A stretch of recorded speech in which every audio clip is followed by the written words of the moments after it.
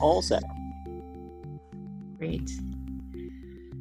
All right, good evening. This open meeting of the Arlington Redevelopment Board is being conducted remotely consistent with Governor Baker's order of March 12th, 2020 due to the current state of emergency in the Commonwealth due to the outbreak of the COVID-19 virus.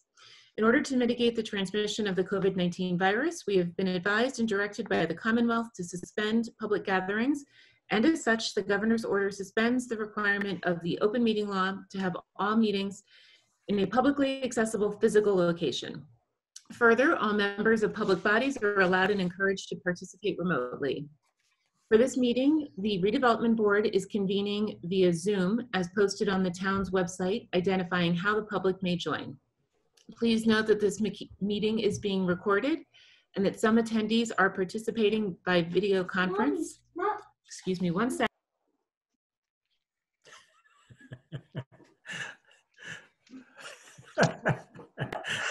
Excuse my little visitor. uh, as I was saying, please be aware that other people may see you and take care not to screen share your computer. Anything that you broadcast may be captured by the recording. So I uh, will now confirm that all members of the redevelopment board are present through a roll, roll call uh, please identify if you can hear me. Kin Lau, Present. David Watson, Present. uh, Eugene Benson, Present. Katie Levine Einstein. Present. Great, and Rachel Zsembery as chair. I am present as well. And I believe we have uh, Jennifer Raitt from the Department of Planning and Community Development Present. and uh, Erin Zwirko joining us as well this evening. Present. Do we have anyone else from the department on tonight's call? Okay, great. All right. Let me switch my screen and we will move over, open the first item on tonight's uh, agenda, which is docket number 3638, 400 to 402 Mass Ave. Um, this is a the new opening of this of this public hearing. Um, and I'll first ask Jenny if you have anything from the department um, summary that you would like to begin with. I don't actually have anything further than what's in my department summary. Are you Great. receiving feedback? I'm not sure what's causing it. Very bad feedback of everyone except Rachel. hmm Yeah, I'm getting the same thing. Okay, sorry, everybody. I don't know what to do about that. Wait, if you, okay, that's better. Okay, so I Right, will, for everybody? great. So are you receiving feedback when I'm speaking? No. It was when I was speaking and you were, you were unmuted. Is it better now? Okay, so I'll, I'll just make Sorry, sure that I I don't mute when- I'm whenever sorry. anyone else is speaking. I'll just make sure to keep myself on mute except for not sure what's going on. Um, so I will um, ask the, uh, let's see, I think Attorney Annese, are you uh, here to represent this? Oh, you're on mute, Mr. Annese.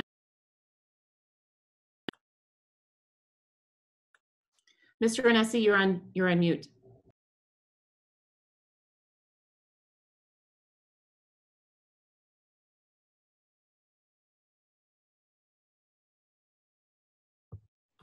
Can you hear me now? Yes, thank you. Okay, good.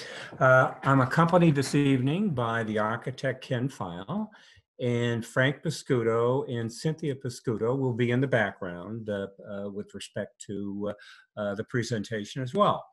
This is an application for environmental design review relating to property at 400 to 402 Mass Ave. Uh, and this, the, the relief, zoning relief in connection with this property goes way back to 1980. And in 1980, the uh, family, uh, Frank, appeared before the Arlington Zoning Board and basically requested zone relief. And they granted him relief to have two residential units in the building. Uh, the and by the way, the building is in the Avon Historic District. Uh, we are not, and I'll repeat this again, we are not, and if there's any indication in any way that the board feels we are, I want to hear about it. We are not making any exterior changes to the building, notwithstanding what might be shown on the plans which you may have, and Ken Feyl will get into that in a bit. Uh, with respect to uh, the jurisdiction, we had to go before the Arlington Zoning Board because they acted on this matter back in 1980. We had a hearing before the uh, zoning board, and I believe that you have a copy of the zoning decision uh, where uh, the zoning board indicated uh, that uh, they were going to defer jurisdiction to the ARB. Uh, because in fact, uh, the ARB, basically with mixed use, now has jurisdiction under environmental design review of the property. So what we are proposing, and, and that's why we're here, by the way, because the zoning board has basically acquiesced in our coming before the ARB. So we are proposing four residential units for the building, uh, and three of which would be one bedrooms, one would be a two bedroom, and we're proposing an office use as well. If you're familiar with the property, the property uh, is, by the way, is in a B1 zone, and uh, in, in my mind, it's on the fringe of the area that separates the uh, the high intensity retail area of Arlington Center from the less intensive area as you go down Mass Ave, where you have a more mixed use uh, uh, basis for, for the buildings, okay? Uh, which is not necessarily the case in Arlington Center. Uh, it's the property, in fact, is, across from the fire station. Uh, and as you have, you've seen from the dimensional form, uh, we have 4,000 some odd square feet as far as the lot is concerned. Uh, we are non-conforming in many respects, uh, and uh, the zoning relief that we're requiring uh, basically is under environmental design review. And in addition, uh, I have asked for relief with respect to uh, uh, the property abutting a public way with respect to setbacks as well. Uh, what I did do uh, in my my memo, the environmental impact statement to the ARB, is I invoked the Transportation Management Act. Uh, I have been corrected by the planning department with respect to uh, the fact that I really do not need any relief with respect to a parking reduction. we need six parking spaces uh, start that, five parking spaces, and we have six parking spaces. So we do not really need uh, any relief from the uh, board with respect to a parking reduction. Nevertheless, uh, and as uh, the planning department memo has indicated, well, Mr. Annese proposed that in his uh, memo, in his environmental impact statement. So why don't we see if we can hold him to it? Well, uh, I am going to basically uh, get into a discussion of the Transportation Management Act. Uh, we are, in fact, uh, going to provide an EV electrical outlet, as you can see, hopefully, from the plans. It's going to be in the back of the lot. Uh, that's where the EV connection is going to be. And Ken Feyl can talk to that uh, when he uh, gets involved in making his uh, presentation. Uh, uh, we are also going to provide, and we're going to suggest for bicycle parking, we're going to suggest short-term and long-term. The uh, long-term bicycle parking would be inside of the building and it would not be on the same level as the street level uh, would be down a, a, flight of stairs because we don't have room elsewhere in, in the building for the in-bike storage. But we would have room in a storage uh, area in the lower level of the building for uh, in-bike storage. We would also provide for short-term bike storage uh, at the exterior of the building, uh, and that could consist of a bicycle rack uh, uh, at the exterior of the building. And uh, I'm sure we can have a discussion about that with respect to what your thoughts might be. The uh, we don't intend to go before the historic commission uh, because again we're not making exterior changes to the building uh, of any kind. Uh, the with respect to landscape space, we've indicated in our presentation what we have for landscape space. I think it's 687 square feet. We don't intend uh, to change that. I'm sorry, 864 square feet. Uh, and zoning would require 555 square feet. Uh, we have no open space of any kind, uh, so uh, uh, that is not something that I will be getting into a discussion about. But again, with respect to the jurisdiction and the ability on the part of the ARB to give us relief, I believe that the ARB has uh, plenty of, of authority to give, us- uh, give us relief with respect to that issue and other issues. Uh, the usable open space, as I say, is zero, will remain at zero. Traffic uh, circulation, Ken can talk to that. It's got to remain unchanged with one-way traffic in and out uh, to the parking spaces, which are located, as you can see from the site plan, to the rear of the building. And uh, as the planning department memo has indicated, tandem parking is in fact allowed under the bylaw, and we are going to in fact have tandem parking. Now, one of the comments made in the planning department memo was that the parking uh, in that area behind the building and exiting the building could be kind of tight. Uh, and query, would it make sense for the petitioner to consider uh, compact parking?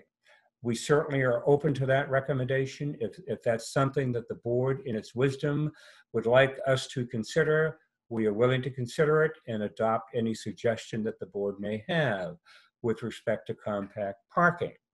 Uh, the, uh, the surface water drainage is going to remain unchanged. As I believe you may be aware, and if you're not, I'll suggest it to you, uh, the parking area out back is paved. So there's a not an awful, and there's not landscaped uh, space back there. There's not an awful lot we can do with respect to how the water runs off. It's been running off that way for many, many years since the building was first constructed, many, many years ago. We don't suggest any changes to that. Uh, we do suggest that, uh, the, that we're not doing anything within the interior of the building that would change that. When rain happens, it hits the roof, comes down off the roof, goes into the parking lot. That's the way it's been happening for many, many years, and that's not going to change. There will be no changes to the utility service to the property.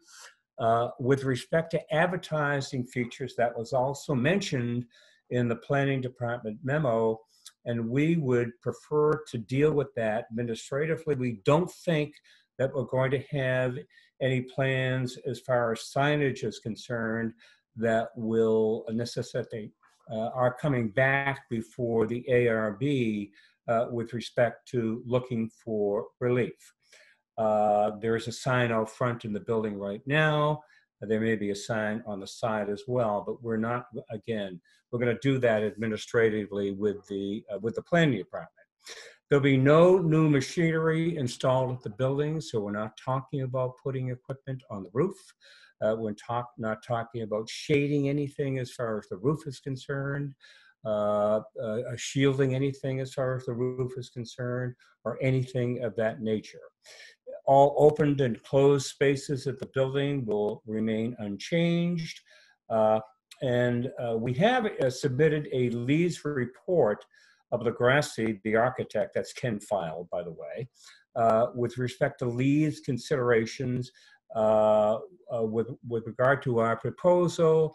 And I'm going to let Ken talk to that issue, and I can come back in. Oh, by the way, one more uh, matter that uh, in my uh, generosity, uh, I proposed in the Transportation Management Act, when I was under the impression that we did need parking reduction, was a shower uh, in the office unit. If we don't have to do that, we would prefer not to do that. If we did have to do that, of course, we would, but we would prefer not to have to do that if we could.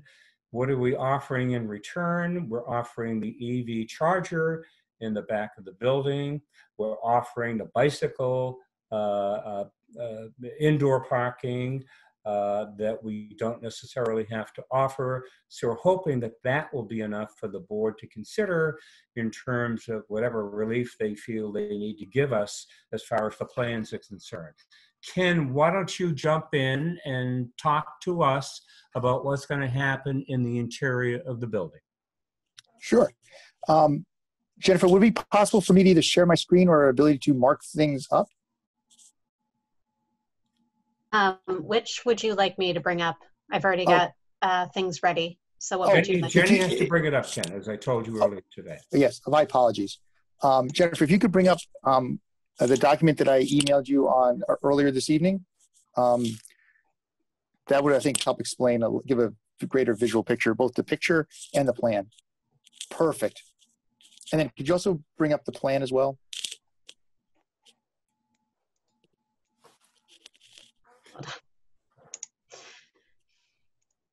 Okay. My apologies. Thank you so much, Jennifer. Should work. Awesome. Okay. Um, um, again, my name is uh, Ken Feyl, uh, partner at LaGrassa Yanowitz and Feyl, LYF Architects. And um, in response from our initial uh, submission to this board um, and going through the planning board, the, the planning department's memo, um, we have located um, addressing different different items that were brought up in the memo. Um, as you can see, we'll start in the upper right-hand corner.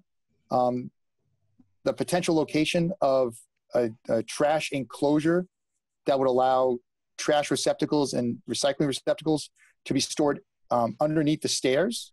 Oop. Thank you. Um, and we'll see, I'll show you some pictures there in a second. Um, the electric charging station located right next to the, to the tandem parking. The temporary uh, bike rack off the walkway to the lower level, um, right off the, um, the driveway for temporary use of um, short-term use of storing bikes. Um, and then, again, as Bob um, Annese, had, Attorney Bob Annese had mentioned, if we are needed to require a toilet in the existing office space, um, there is a potential location um, in that in that office to put a shower in. Um, if we could scroll down a little bit more, thank you. And then in the existing building storage space, we can, which is again one level down from um, the main entry, we would be able to partition off a, a permanent bike storage location for tenants to store bicycles, uh, both the office as well as the residential units to be stored inside the premises and not outside. Um, and as uh, Bob had mentioned, we had written a LEED narrative. Um, since all the renovations are happening internal, um, offices being converted to residential units, um, all the LEED considerations that we can consider are really more interior, They're all interior focused. Um, we can focus on using uh, low emitting materials such as paints and coatings, adhesives, sealants, and flooring, using post um, uh, high post consumer recycled products. Um, and then for any HVAC units that we put in the, u- the, the into the units for the the unit living the uh, new residential uh, units, um, we can actually make sure that we have better indoor air quality as well.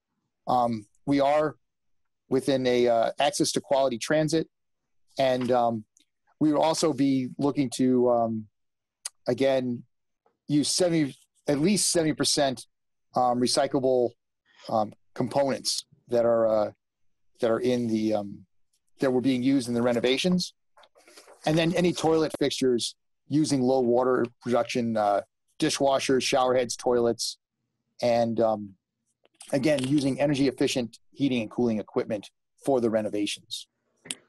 Um, again, these are all internal changes.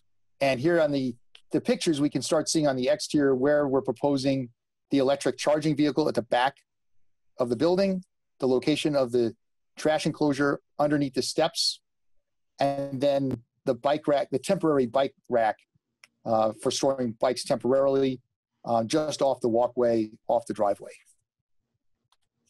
So I, that encompasses, um, addresses the items that were uh, brought up in the planning department's uh, memo. Um, happy to answer any questions, or I'll turn it back to to Bob and to Attorney Bob Bobanesi. Yeah, uh, just uh, as an addition to what I was saying earlier, uh, in quoting from the uh, uh, Planning Department uh, memo to the members of the ARB, uh, we are looking for four residential units, uh, which is an addition of two, an additional two from what was there before. And the department memo talks about the fact that the master plan recommends uh, supporting commercial areas by encouraging new redevelopment uh, and uh, uh, new residential as well as commercial space. Uh, and again, we're going to keep this mixed use. We're going to have an office. We can't have a retail use there. We're not going to have a retail use, but we're going to have an office use there, and we're going to have uh, residential use as well. Uh, and you will note, by the way, on the prior plan that had been submitted, uh, we had showed an exterior, an exterior uh, shed-like area for uh, covered bike parking. That's not going to be the case because that would be a change to the exterior of the building. And we, again, are not making any changes to the exterior of the building. So uh, if you have any questions at all for either Ken or myself, we're more than happy to respond. Thank you, Ken and Bob. So we'll run through um, a roll call of the uh, redevelopment board for any questions or requests for clarifications from the applicant uh, prior to turning it over to public comment, and then we'll discuss at the end. So we'll start with Ken Lau.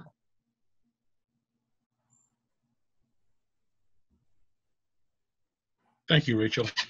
Uh, I generally have no issues with um, switching some uh, office space to uh, more desirable housing uh, in this area here. It's just that I do question the type of housing you're creating. Um, Ken, um, yes. if we look at the, your proposed floor plan, let's start, yes, with, let's start with the basement. Yes. I know you don't want to. Uh, I know you, you're saying you're not changing anything outside, okay? That's correct. Where you have the living room and where you have the bedroom, I just Oh, think. one- Scroll down, please. There we go. Thank you. Okay, where you have the living room and where you have the uh, bedroom, Yes. Uh, that living room is going to be a dark, dingy space. There's no windows. You got that one window underneath the stairs. It's underneath the stairs, okay? Yes.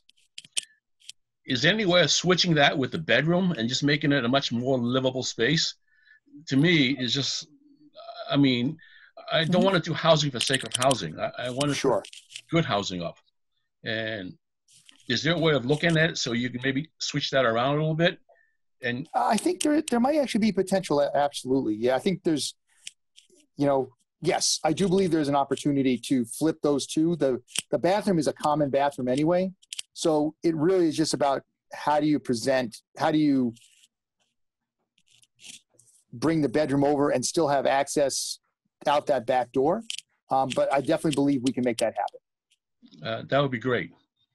Um, that's one comment. And then if we, uh, I, I'm not sure exactly what's happening on the, uh, the two upper units.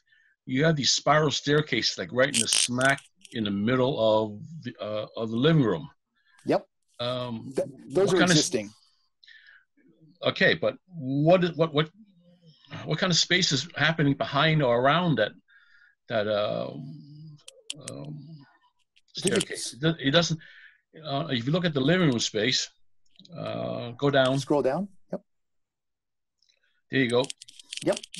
It's really just circulation around. It's it really is just circulation around the stair because as the stair comes up to the upper uh, loft area, um, it comes up on the exterior wall. So that is it's it's the where the existing um, stair is right now. We are not proposing any changes to the unit four or unit number five. I realize that, and I'm just looking at it saying, you, you, you could make those, I think those could be two very nice, nice units, especially the unit number four. Sorry, unit number five, where there's a deck out there, you know, having a, um, a, uh, a bedroom upstairs and then having uh, one on the back there. That could be that could be your prime unit, um, your your penthouse unit, and and uh, I think you should. I'm just su- suggesting maybe you look at maybe modifying that stairs. I don't think a stair would be that costly. I'm just stating that it would make that unit that much nicer. I don't want to have just units, you know, just for the sake of units. Um, you can tuck that tuck that over your owner and say, I, uh, I'm gonna have to, yes. yeah, and then you look at them and say, look, you know, is the payback uh, for up, upgrading these stairs and making that uh, upstairs space and downstairs space more valuable? Will they be able to get that back in the rent?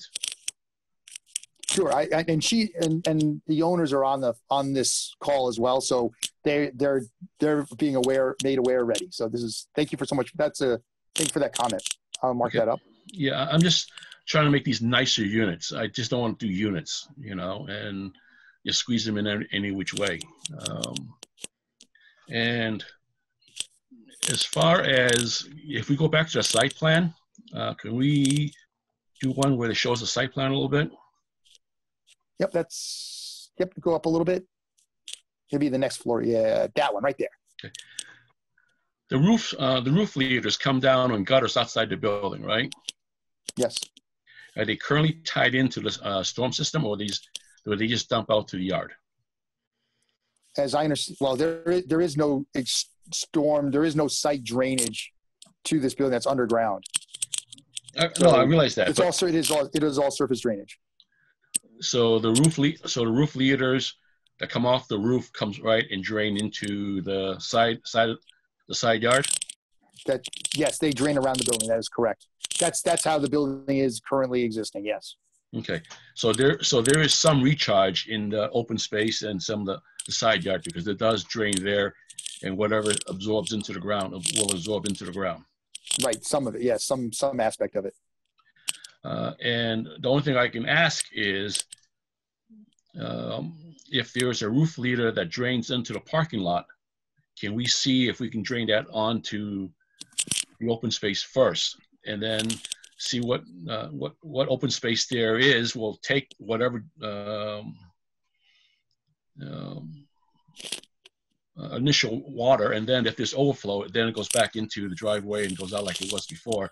It's just a small small gesture to just try to recharge the water back into the ground.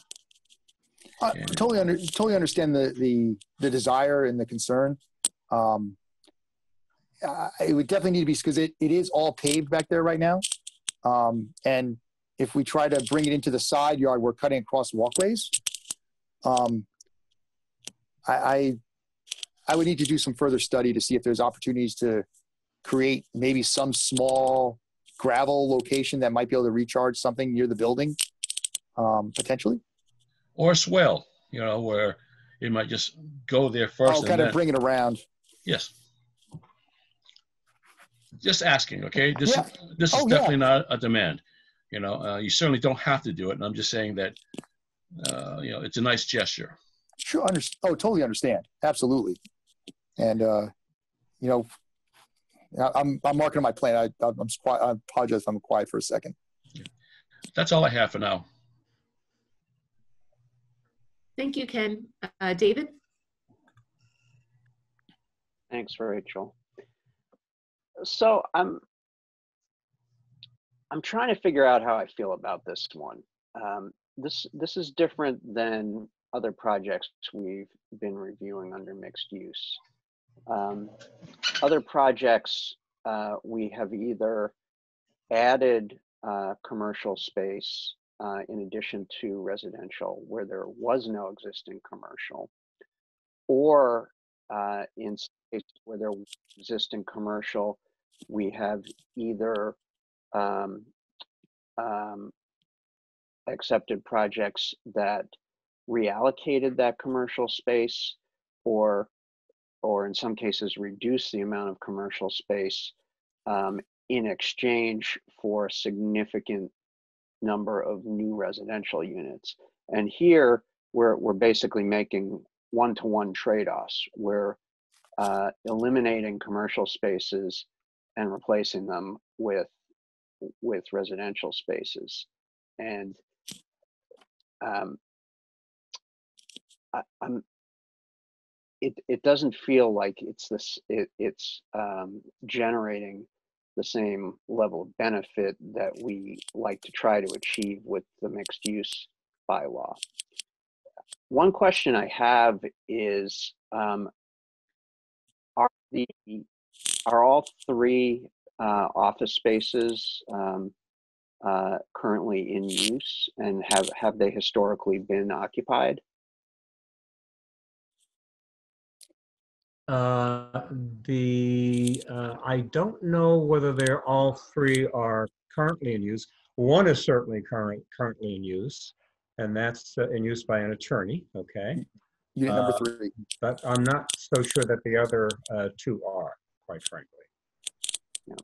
I realize that these aren't suitable for for retail space. We would not be evicting people if that's what your, your point was, okay? Uh, no, I'm just uh, concerned uh, uh, with trying to balance um, the need for commercial space in town and the need for residential. And uh, as I was saying, where we've done mixed use in the past, we have been able to significantly add to the residential stock um, uh, while either adding commercial space or uh, or um, reconfiguring existing commercial space.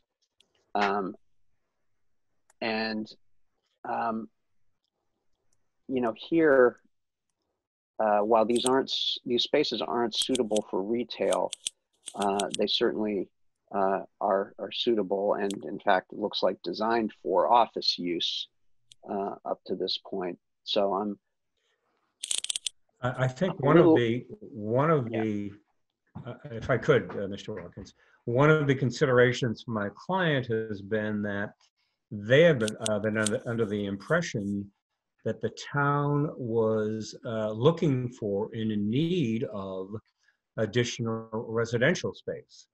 And that has been one of the motivating factors, along with the idea that they could, uh, in fact, uh, of course, lease or rent the, uh, the spaces, okay? By the way, the family uh, is not in the business of developing property and going condo with it, okay? That's not what they do. What they do is they develop property and they keep it. So their intent would be to uh, maintain this family uh, with respect to, uh, again, the residential and commercial mixed use. I think historically, if you went back with respect to the building, uh, you'd find that the building was in fact used uh, for residential purposes, if you go way back, okay? And not office uses. Uh, There are office uh, uh, spaces available in town now. I know that, okay? uh, For people who are looking for office spaces. Uh, And again, uh, my understanding is that additional residential spaces would be something that the master plan uh, contemplated, uh, and that has been a motivating factor for my clients.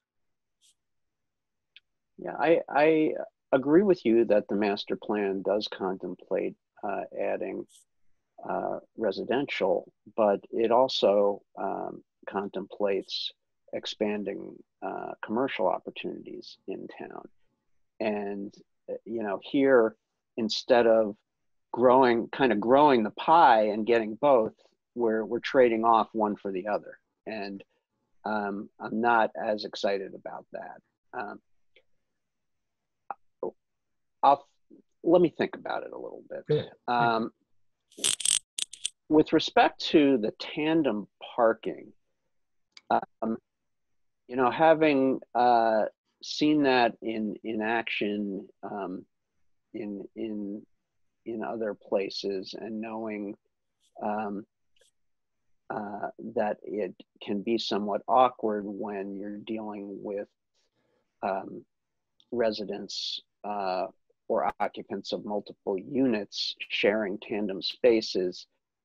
Um, a little bit concerned about how that's going to work in this context where you've got, uh, you would have uh, five completely unrelated parties uh, uh sharing essentially two tandem parking spaces. We're going to, we're going to assign parking for the tenants. Uh, so that they are going to know which space or spaces they will have access to. Well, what happens if the person in in space number one to leave and space four is still there? In, in terms of moving the vehicle, Yeah. well, th- th- that's something that happens all the time. Uh, David, if you go down into East Arlington right now, and you go down any street in East Arlington and you look at the tandem parking in East Arlington, that's exactly what happens, okay? Uh, there's tandem parking in driveways. And what has to happen is uh, one of the owners has to go to the other one and say, we'd like to move, okay? We'd like to get out. Uh, could you please move your car? Could you please allow us to do that? That happens Yeah, I- all I- the time. I- Yeah, I, I understand that, but I, I think that's certainly not a desirable Well, situation. The problem And is, It's also, yeah, it's also not a situation that I think we typically see uh, in uh, things that are larger than uh, than a two or a three family. Yeah. but we're dealing with a, a peculiar site. It's not a large site, David, okay? It's a small site. And we, we're dealing with uh, the hand that we've been dealt uh, as far as the parking is concerned. And we're trying to do, uh, do the best we can. And again, the zoning bylaw does allow for tandem parking.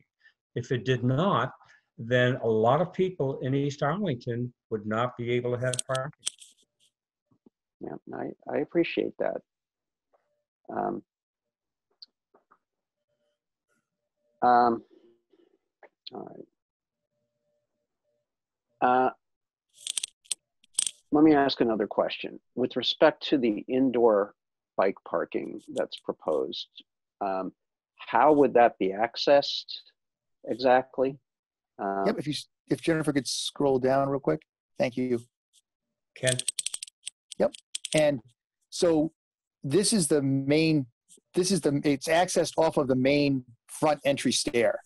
Mhm. Um, and there is a, a, that is basically common that can be accessed by the office as well as the residential units from the outside and, um, and going up that main stair. And they, the bike storage will be right off that main stair going, you come in the main stair, you can go down to the bike storage through its own uh, doorway. That's, that's, that can be locked. And then you go back up to your unit. So I'm I'm just trying to I'm not sure I'm understanding the, the flow. So Oh. you come in the front door of the building Yep, which is then- uh, the next plan up. Yep. and So then where do you and then so you you go down on the left? That's correct. You come, you go down the stairs, you go up, down. There you go. Yep, down the stairs, and then you end up right at the door of the building, the building So you have to go down down the stairs to what an intermediate landing and kind of and That's make correct. a right and then go down again. Yes, it is a, it's a U, it's an existing U-shaped stair um, that goes down to that lower level. That is the, uh, that's the only um, storage space that's available going up the building. No, I, I, I do appreciate that. Um, that I'd say um, having requiring people to to carry bikes up and down stairs is definitely not not preferred. Um, and uh, here it's even more awkward because they have to make a turn with their bicycle while they're while they're maneuvering up or down the stairs. Um, so it's it's definitely not optimal. Uh, I mean, Agreed, I definitely not ideal. Yeah, I recognize there there isn't um, necessarily another interior space where that would work.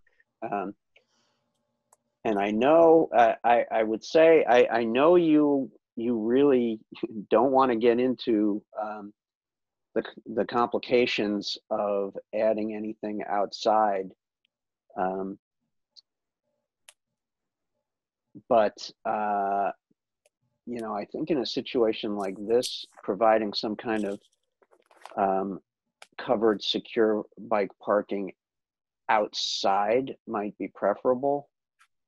And if you only, if you're actually only required to provide uh, uh, five parking spaces, uh, I'm, I'm wondering if it's feasible to uh, repurpose one of those parking as uh, an enclosed bike parking space uh, so that people uh, could roll in and roll out and not have to deal with the carrying bikes up and down the stairs.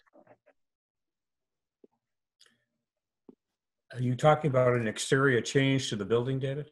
No, I'm I'm talking ab- about well, I'm I'm not sure of the implications of this because this would be uh, doing something in the parking area. Yeah, in the parking area that's now paved and uh, repurposing one of those spaces and necessarily building something on it.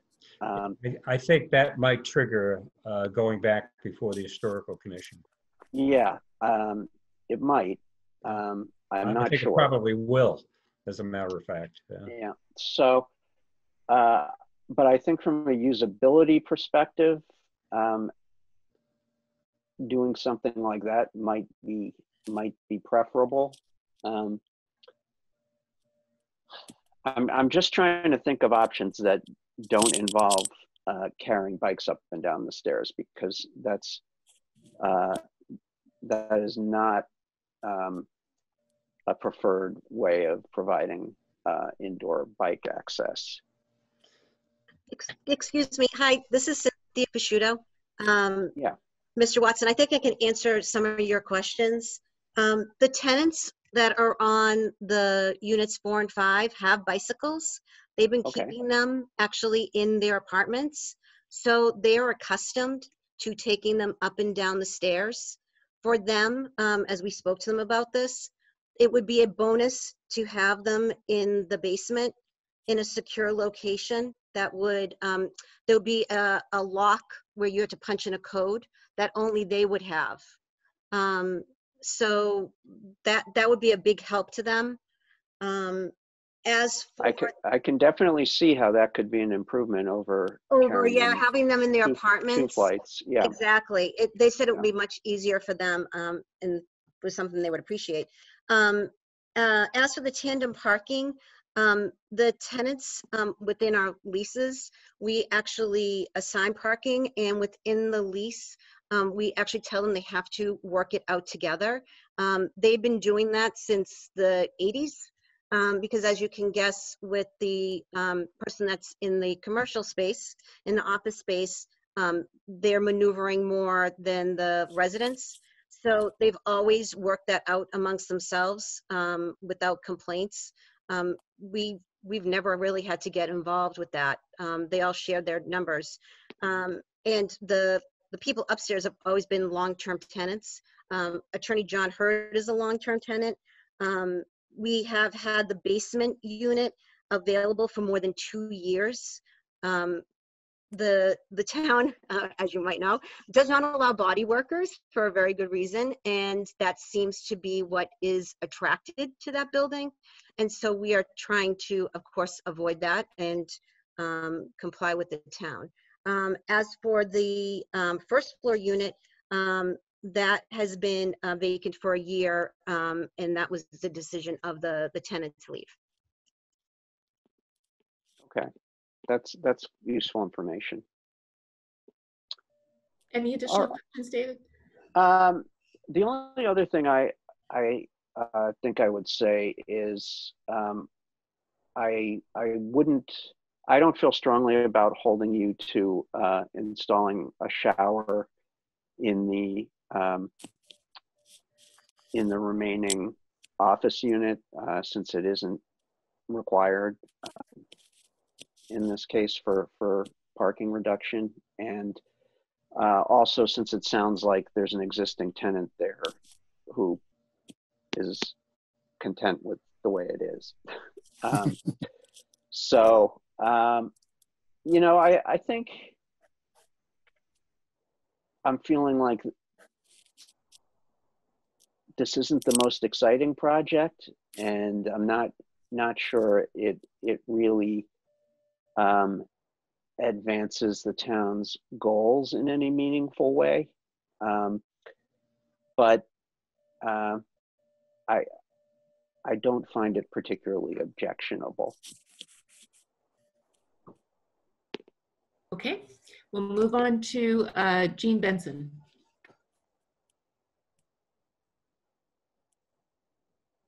Thank you, and good evening, everyone. Um, Thank you for the interesting presentation about the proposal. I have questions and comments about parking, about the amount of office space, about the LEED checklist. And um, before that, I want to sort of weigh in on Mr. Lau's suggestion of perhaps flipping the um, living room and the bedroom in the basement unit. Um, I would hate to see a basement unit where the bedroom has no windows. I much prefer to see windows in the bedroom, and I'm not sure what those things are called, transoms or something where the light transmits, Mhm. you know, high up in the wall Yes. from the bedroom into the living room. Yes. Um, so, yeah, I think to me that would be preferable to ending up with a bedroom with no windows, personally. Um, so let me get to my other issues. Parking. Um, so, I mean, people have talked about the tandem parking and the issues with um, the tandem parking. I wonder how you respond to this part of the town zoning bylaw, which says parking and loading spaces other than those required for single family and two family dwellings shall be arranged to avoid backing of vehicles into any street.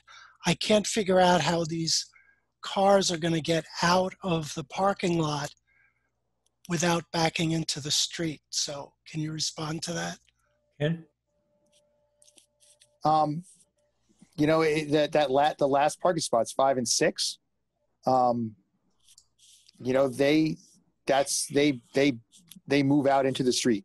Um, you know, they can, you know, they're all assigned and, um, you know, if there's opportunities for them to move forward to allow other cars to park, um, obviously they would do that. Um, Cynthia, how do they presently do it and how have they been doing it for years? Cynthia? Sorry, I had to unmute myself. Um, they have been, uh, pulling in and then they, uh, they back out, um, is how they've been doing it for years. Um, we can tell them to park facing forward so that they're not backing backing. out. But they've been doing that, um, for years. Yeah, I, I mean, I, I appreciate how difficult the parking is there and trying to fit in the numbers um, that you'd like to have or that are required. On the other hand, I'm sort of sensitive that if we're going to give us a special permit, we have to be sensitive to what the bylaws currently say about parking, which is the avoid backing of vehicles into any street. Um, I don't know if it's possible to do this. You really only need five parking spaces, not six, um, under the bylaw. So I'm wondering, and I don't know the answer, but I'd like you to come back next time and think if there's a way to do this where if there's a way by reducing the number of spaces to five to either make it easier for people to get in or out or less likely they have to back out into the street or something of that nature because you only need five for the residential you don't need six there's no requirement for um, parking for the for the um, commercial business space. So I, you know, if you could at least look into that, I think it would be helpful. Although I'm, I'll tell you, I'm having a little trouble figuring out why we should give a special permit to allow backing out into the street when the bylaw pretty specifically says arrange parking to avoid backing of vehicles into the street. And you can understand why they'd prefer not to have that happen. The, the second one is about the bicycle parking. And uh, David brought this up, but I'd like just to sort of amplify what he says. The bylaws say bicycle parking must not require lifting bicycles off the floor or carrying bicycles up or down any steps or stairs. So I think that's a bit of a problem. And I understand how the tenants would much rather have the bicycles in a basement storage area than in their apartments, but they'd probably even better prefer a storage area where they don't have to carry the bicycles up and down a set of stairs that have a, a turn around it. So I think one of um, your challenges, and and David suggested one option. I don't know if that's a good option. Maybe there are others. Is to see how you can uh, have bicycle storage when they don't have to carry bicycles up or down stairs. Um, so I don't know the solution, but I will point out that the bylaw says you know, you can't require bicycles to be carried up and down the stairs.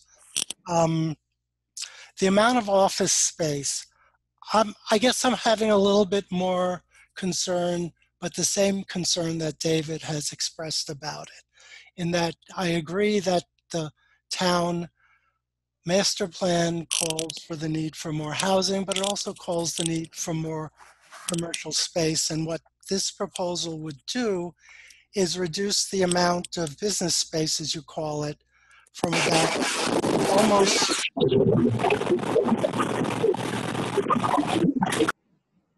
almost 2,700 square feet to only about 630 square feet. And to me, that's a rather huge reduction. And to have only just over 10% of the square footage of the building devoted to um, business space and the rest devoted to commercial raises the same issue that I had with um, 1500 Mass Ave, which is this doesn't feel to me enough like a mixed use building.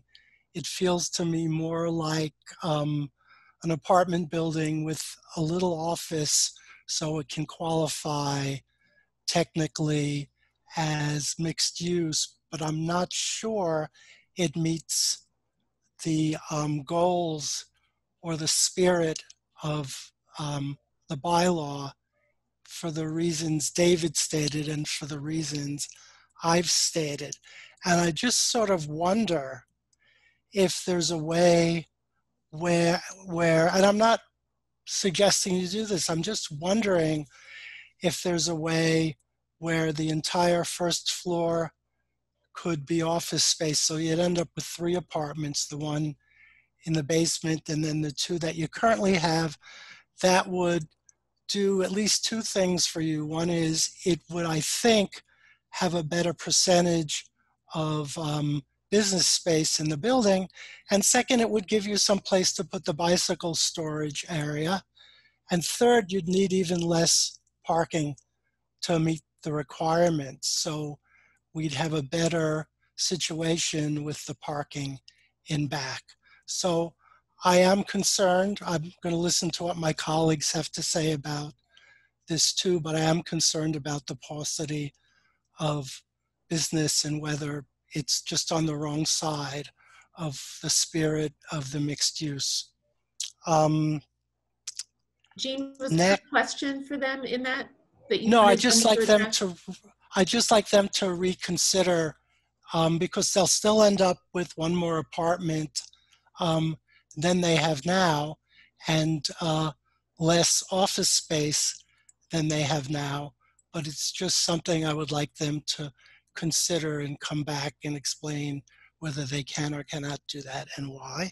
Or if they want to discuss that now, they can, but I put that out for their consideration. It's a small building. It's not a large building, okay? Certainly uh, not uh, the building that uh, would be going up at 1500 Mass Ave. hmm Uh, And uh, again, I think historically, if you go back, uh, the building has been used more for residential purposes rather than uh, uh, uh, commercial or office purposes. Uh, and again, uh, we did this because, and we're proposing this uh, because we looked at the same bylaw that you looked at, and we interpreted it differently. Now, you, you're uh, in the position of authority, and I'm not. But when I look at the bylaw, I can interpret the mixed use bylaw as saying for a lot that contains 4,000 some odd square feet, uh, why not have four residential units on that small lot and one office unit?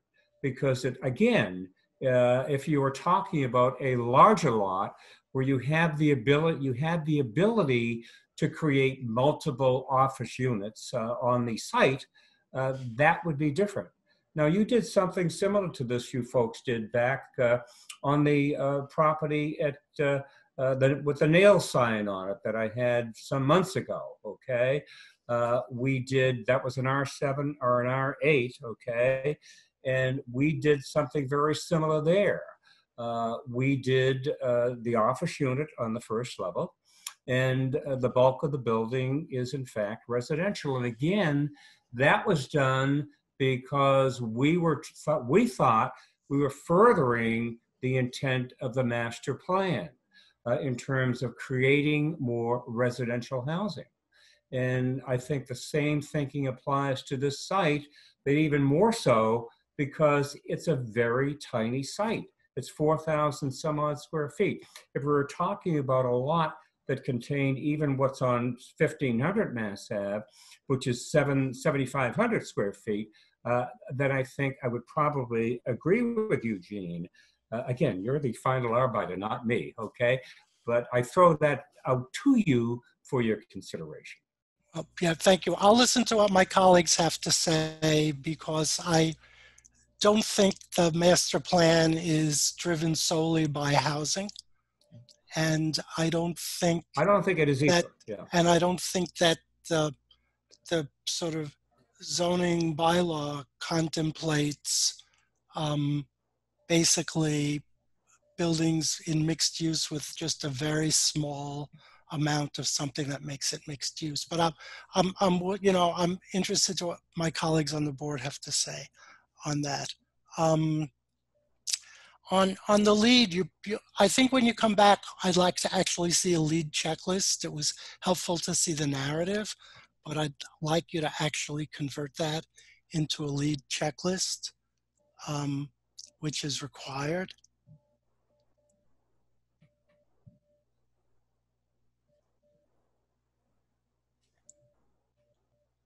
And um, that's it. Thank you, Gene. Katie? Thank you. Um, so my colleagues, I think, raised a lot of great points, um, and so I'm not going to um, repeat what they had to say, but I, I, think, you know, in response to Gene and David's concerns about um, the commercial space, I think one one thing that is really tricky. This site is extremely constrained, and I think you know you guys did a great job of laying that out, and it's not clear to me that there is a lot more that can be done with the commercial space in this um, in this particular place and I think when you guys come back, um, and it'd be really helpful. I mean, we already heard a little bit about how only one of the three spaces is currently in use.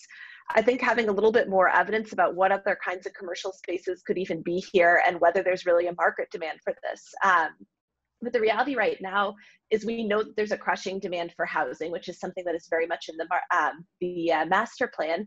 And it's not clear that there's a demand for these kinds of office spaces. And so I think if there's another kind of commercial space that could be in this particular small building, we would certainly be interested in that, but it's not clear that that's an option here. So I, I guess I'm maybe not as troubled by that issue as my colleagues are.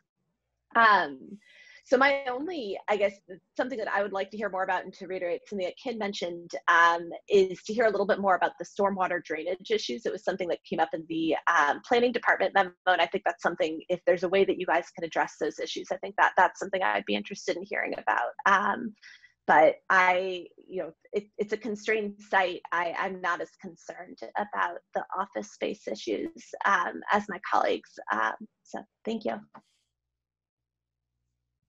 Rachel, can I uh, follow up?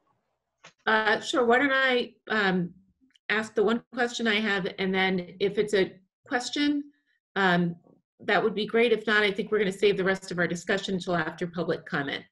Um, but if you have something specific, another follow-up question to Katie's um, comment, please go ahead.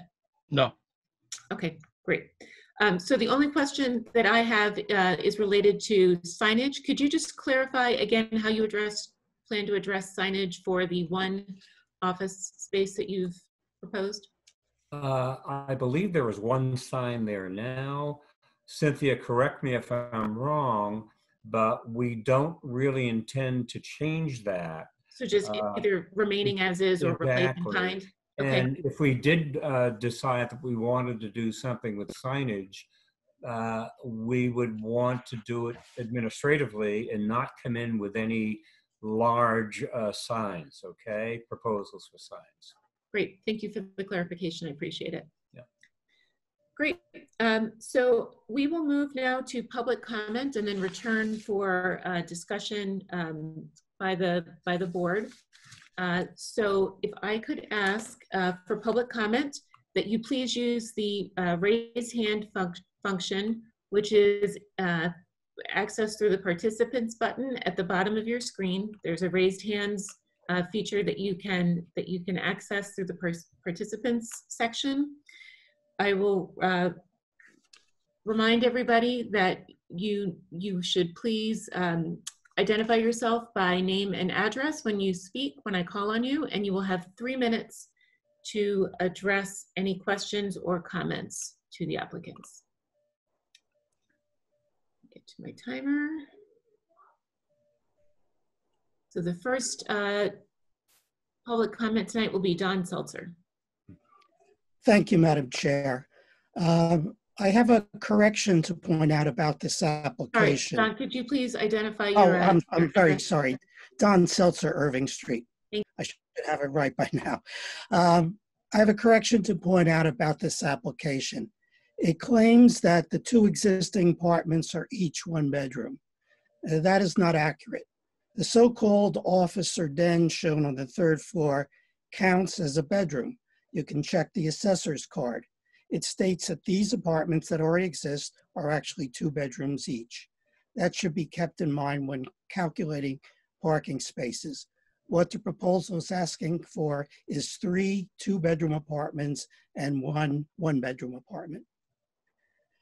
Um, There are a number of problems with the parking lot, some of which the board members have talked about. Uh, I want to address, um, I'll address two of them. The bylaw requires that in a B1 district, uh, which abuts residential properties, which this does, there must be a screening buffer along the side and rear lot lines. It must be landscaped, and it has to either be 10 feet wide or five feet with a screening fence. The parking lot requires this on both the side and rear. Uh, Another problem is parking spaces five and six. They're not legal. They are in the Avon Place front yard and our zoning bylaw clearly prohibits such front yard parking. Several people have mentioned this is a really small lot. It's hard to make do with and everything. And our bylaws uh, address that.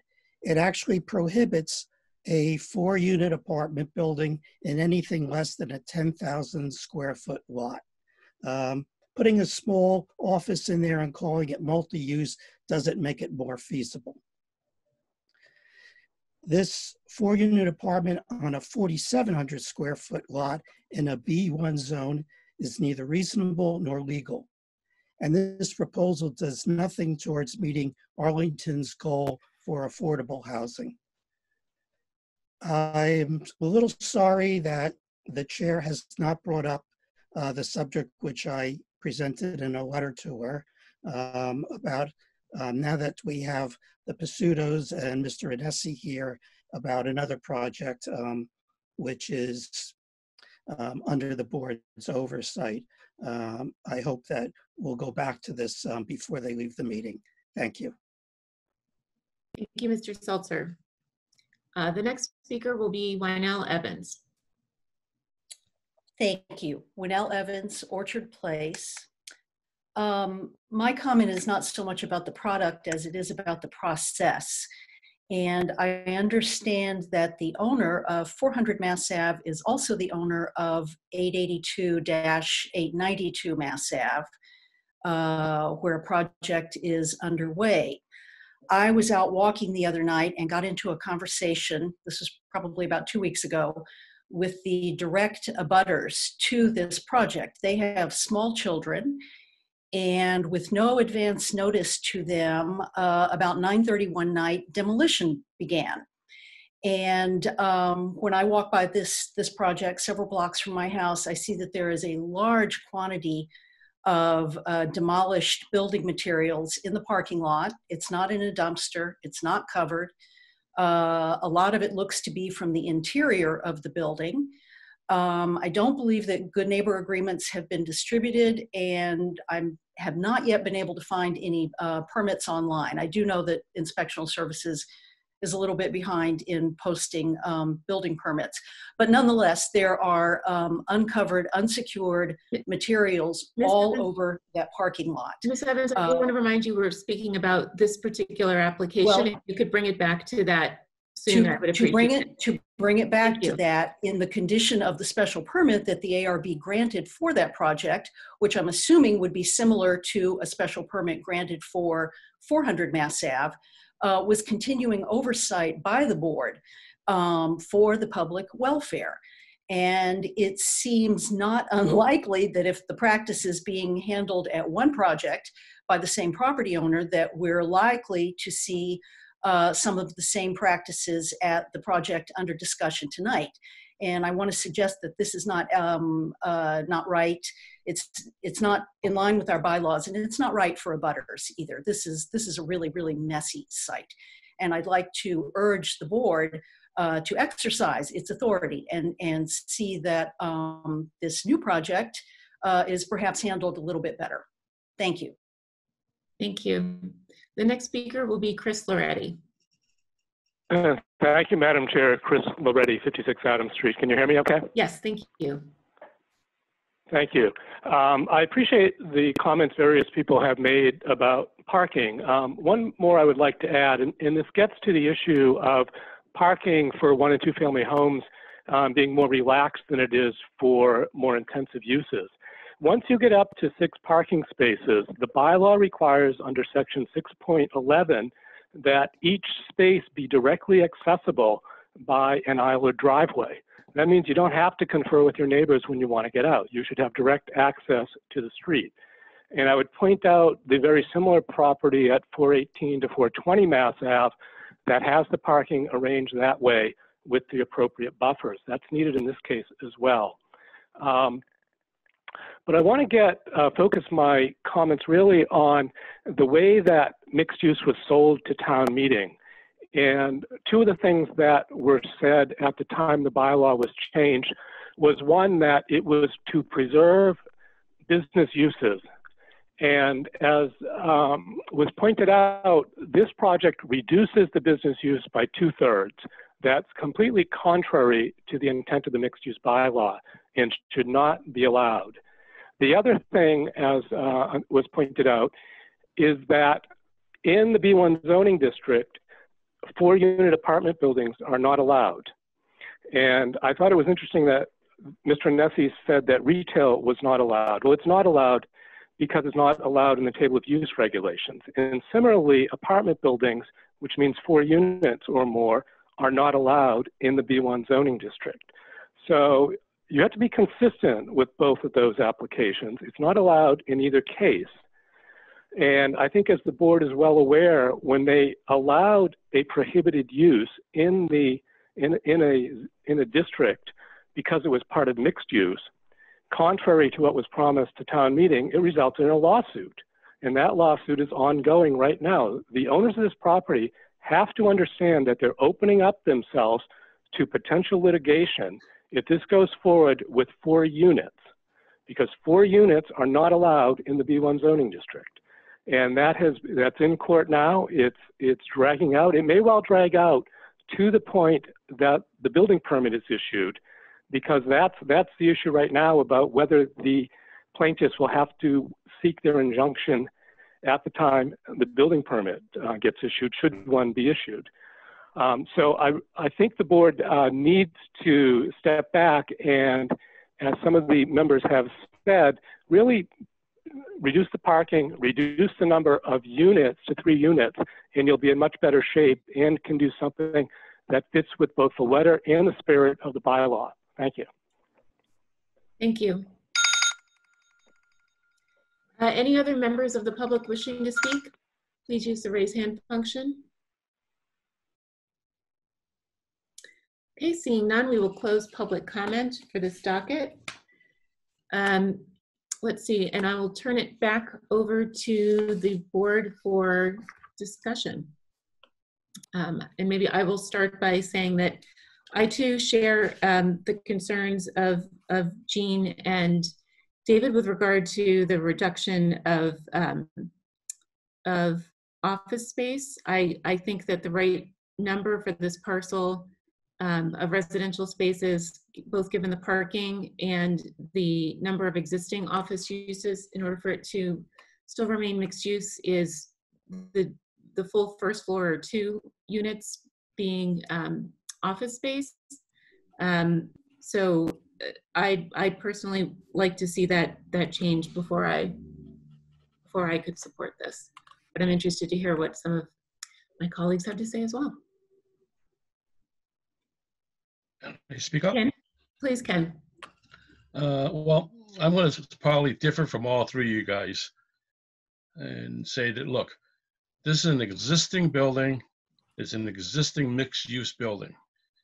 Uh, they're asking is they're changing the proportion of what's mixed use to what is more in demand today. Just like how they changed it, changed it from 100% uh, housing to represent a portion of mixed use and office space back in the day when they asked for it. So I feel like I feel differently from you guys about this.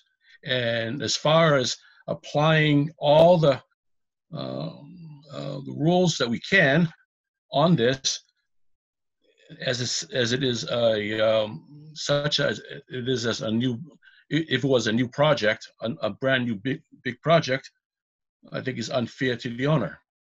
I think they are keeping the character of the building the way it is. They're not changing anything outside. They're just making it such that they can make a living with what's in what's in below, because that's what's in demand right now, and they're adjusting uh, that proportion. So I'm fully supportive of that because of that.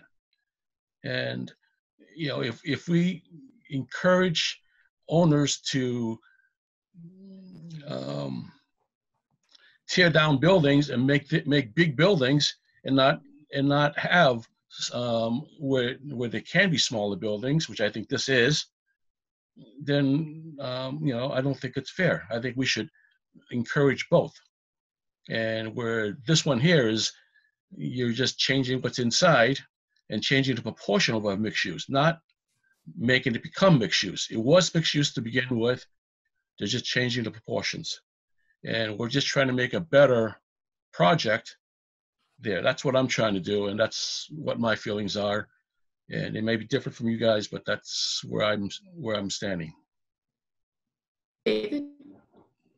Well, let, let me just follow up on that.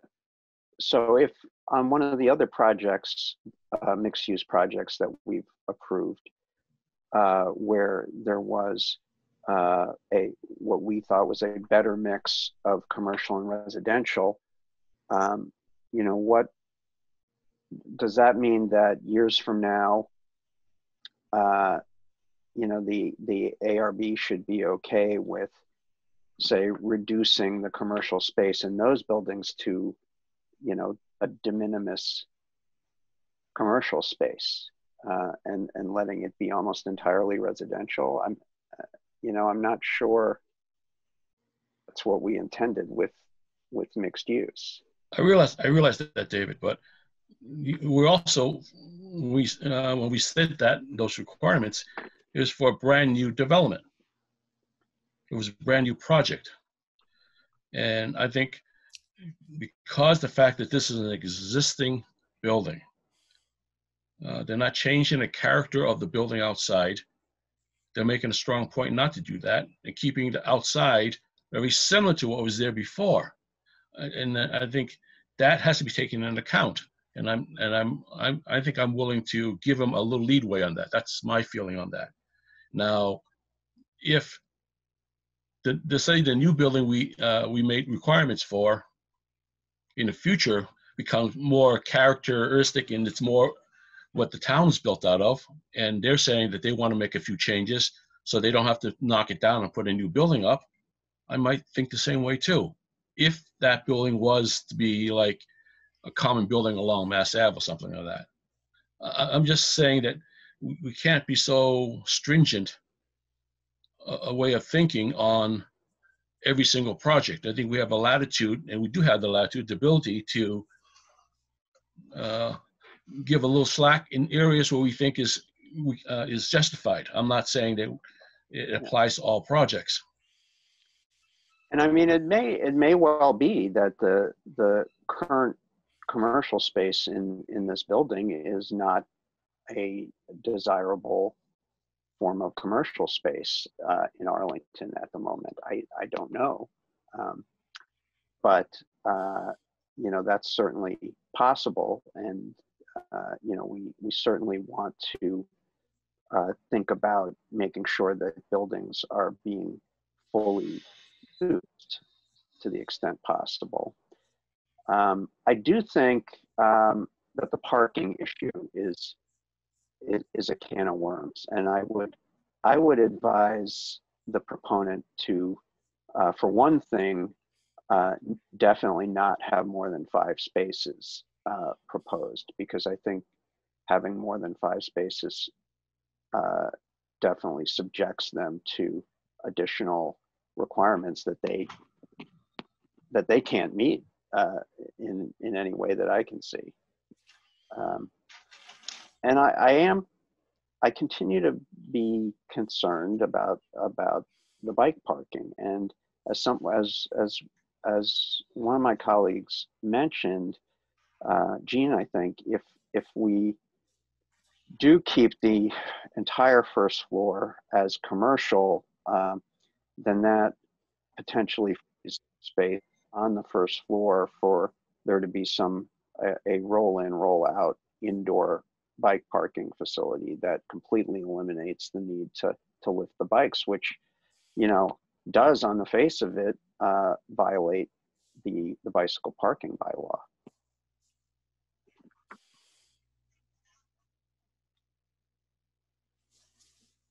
you're muted Gene, thoughts? Yeah, yeah I'll just follow up briefly. Um, you know, I, I appreciate what all my colleagues on on the board had to say. You know, as as um, one of the owners pointed out, I think Ms. Pasciuto, um, the basement unit was a business unit, and they had a lot of trouble renting it. In part, I guess, at least because of its location in the building. So they are proposing that to become residential, which makes a lot of sense to me and theoretically should be easier to rent out.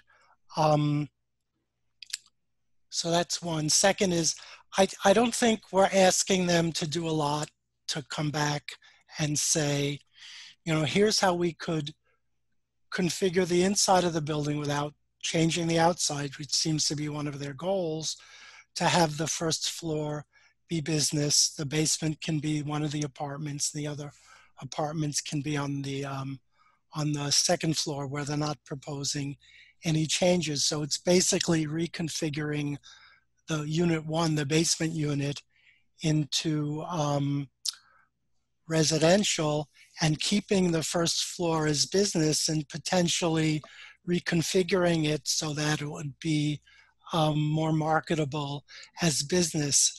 I think that solves problems with parking. It solves problems or can solve problems with the bicycle storage. And if they're talking about a really small lot, I think that's a better um, solution to this. And while I appreciate whenever uh, an applicant comes in with um, an idea for what they want to do with a building or a project, I think it's our job in part to take a look at that and see what would work. I don't, you know, I don't think we're intending to impose all of the requirements, let's say, on parking that, you know, both we and some of the public had talked about if we can get a solution to where they are now. And I think that part of the solution is um, reducing the number of parking spaces. And by reducing by one the residential unit, they're able to do that. So it is a trade-off. I'm just in a different place on the trade-off than Mr. Lau is. Thank you, Gene. Uh, Katie?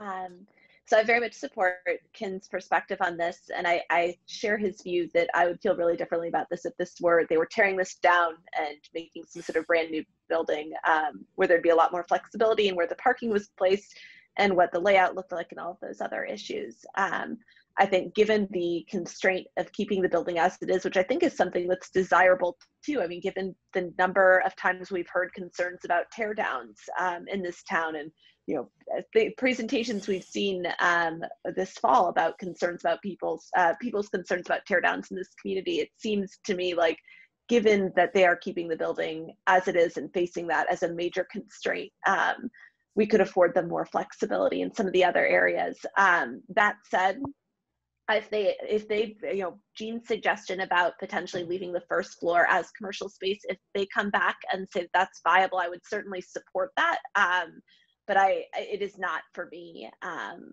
a requirement. I, I support uh, the residential to commercial breakdown as it currently is. Yeah, I just want to say one thing. I mean, nobody's telling them to tear this down and build another building. And in fact, the lot is so small that they would lose all their non-conforming um, benefits were they to tear it down and build another building, and they'd have to deal with the Historic Society. So we're really not talking about they either get exactly what they want or they're going to tear down the building. It's really more about do they get, they get exactly what they want or do they modify the inside in some ways that makes it easier for us, or at least some of us, to say yes? Just to clarify, I think I, I was commenting more. Some folks have said, um, compared this to other projects um, that they were more excited about that had breakdowns that they preferred that were new construction. Um, yeah. And so I think comparing those is not not a really fair comparison. That this one is much more constrained. That's yeah, agree. Great, thank you, Katie. Um, so we can either um, move this to a to a vote or um, defer this to next week. Um, Attorney Annese, I, I know that at, at, least Gene and I have expressed, um, you know, clearly that we'd like to see an additional um, office use unit in the in the building. I think um, David I'm, I'm not sure which, which way you're leaning at this point. Well, I- Um, I think- Is that something you'd like to come back and, and explore and, and come back to us Yeah, after reviewing? I'm certainly not tone deaf.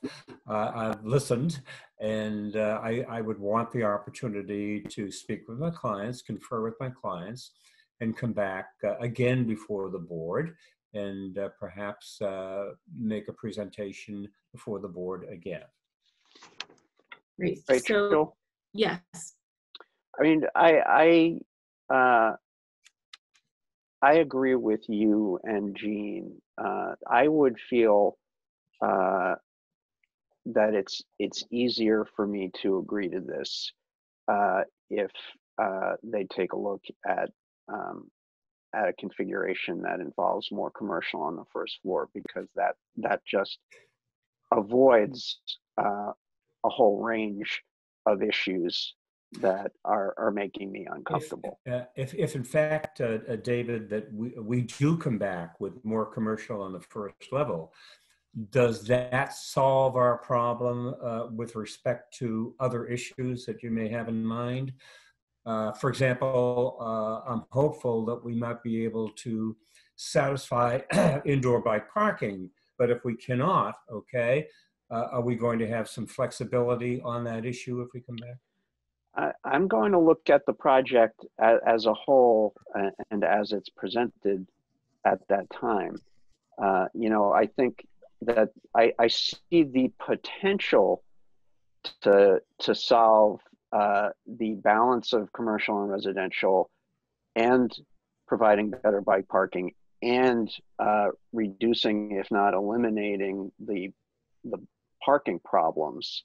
Um, by by coming back with another proposal. But I I'll look at it all afresh uh, when, I, when we I need to it. sell this to my client, and I need to know that I'm not playing Don Quixote.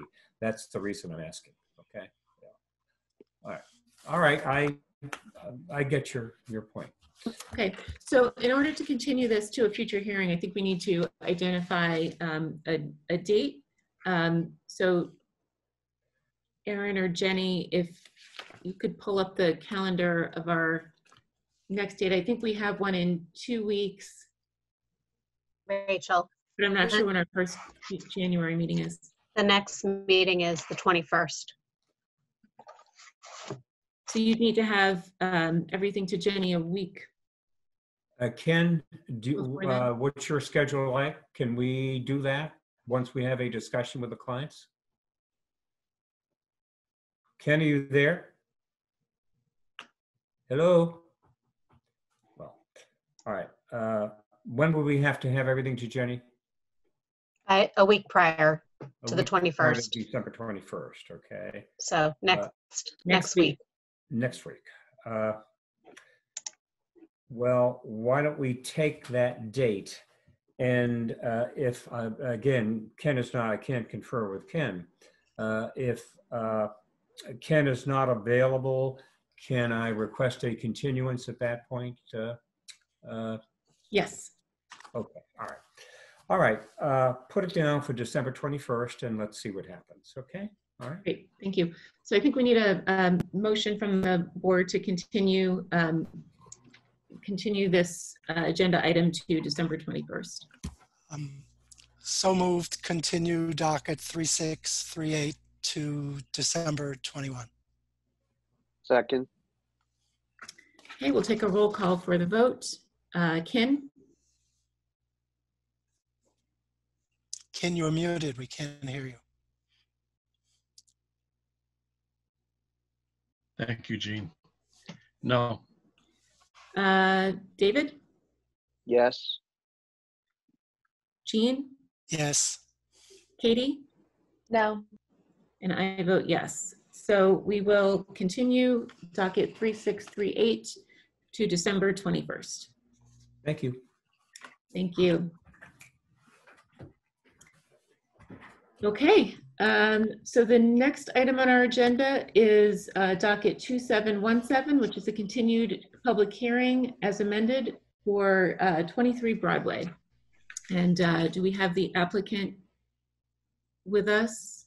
Uh, Yes, Attorney Mary Winstanley O'Connor for SCAR LLC. Also with me are the principals, Michael Aldi and Michael Honeywell, as well as the architects, John Oliveto and Georges Claremont are also available to answer any questions of the board as well. Great, thank you. Rachel, can I just step away for one minute? Uh, Please go ahead. We'll take, um, we'll take a couple of minutes uh, before we begin. Let's take three minutes. Is that okay, Ken? Perfect. I'll go two for three minutes.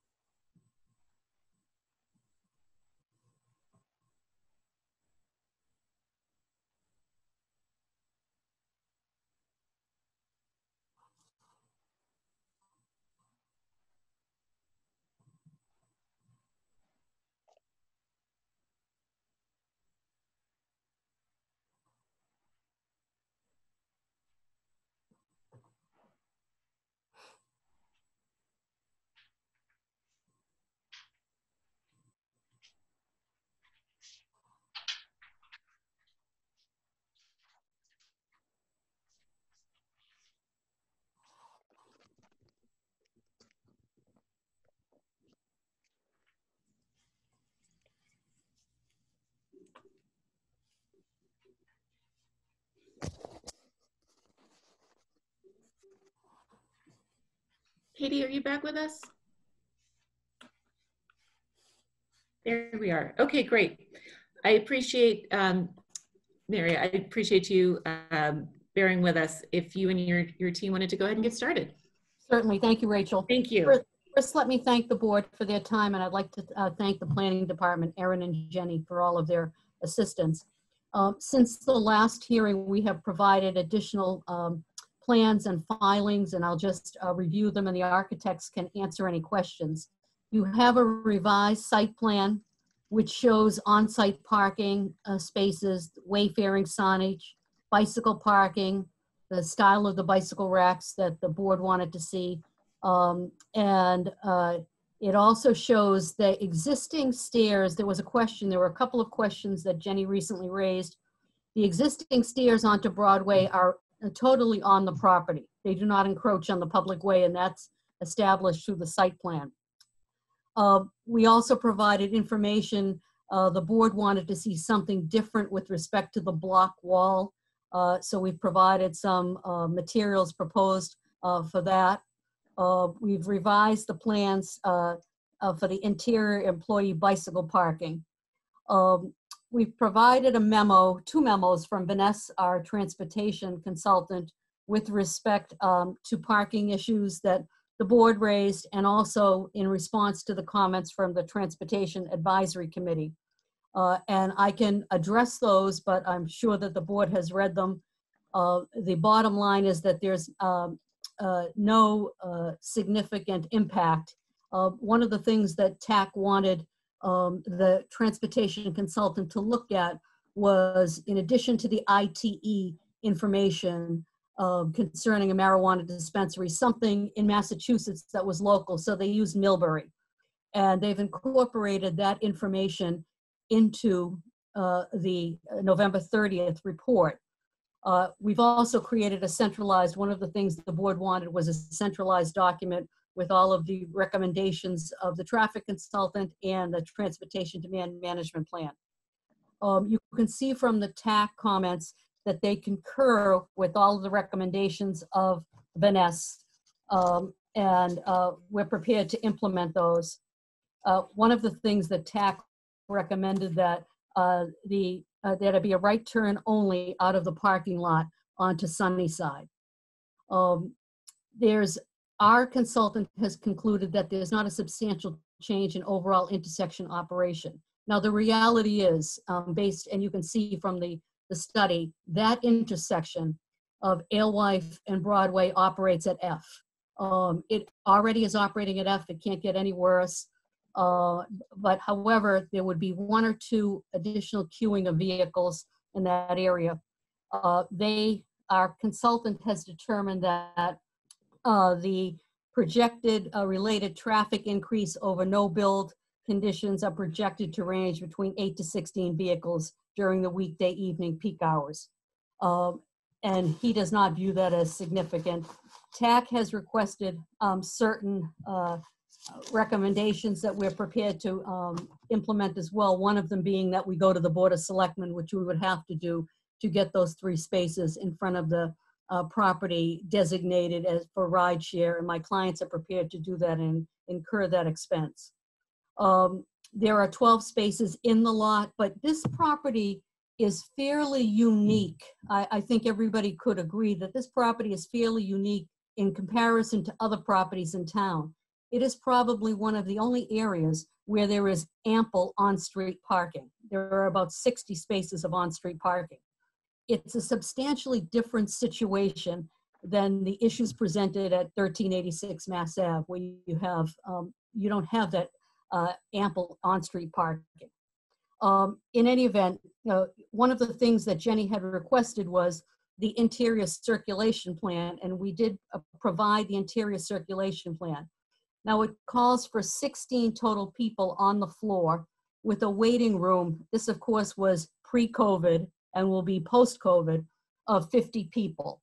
Um, That would be more than ample. Now, unfortunately, because of COVID, uh, the architects have done the calculation and the waiting room can only include 11 people.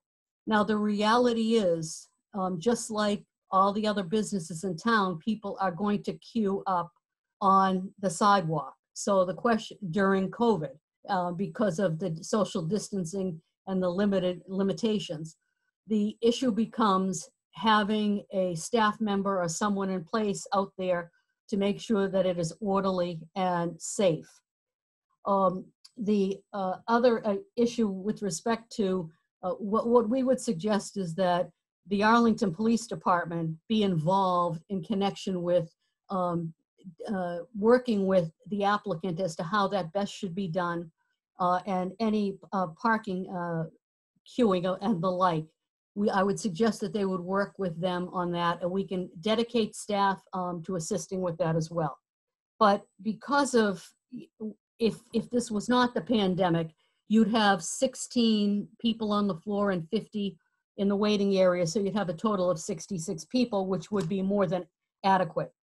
Um, I can uh, have the, uh, unless you have specific questions, I would, uh, I can ask the architects to address some of the concerns that uh, you, you have um, with respect to uh, the space facilities. There is, there is no space for a shower on site. Uh, They do propose a break room, uh, and they can talk about the LEED scorecard. So I would uh, defer to them if that's okay with you, Madam Chair.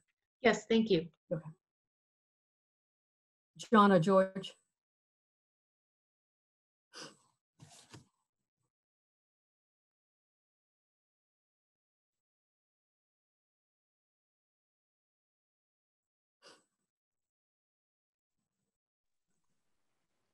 George, did you want to take that?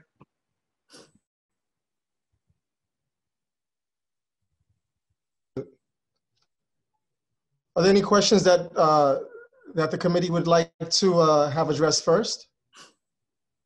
Uh, If, if there's no specific presentation, I'd, I'd be happy to move, um, move right into, into questions uh, for you unless there's anything specific from the um, documents submitted that you'd like to present to us.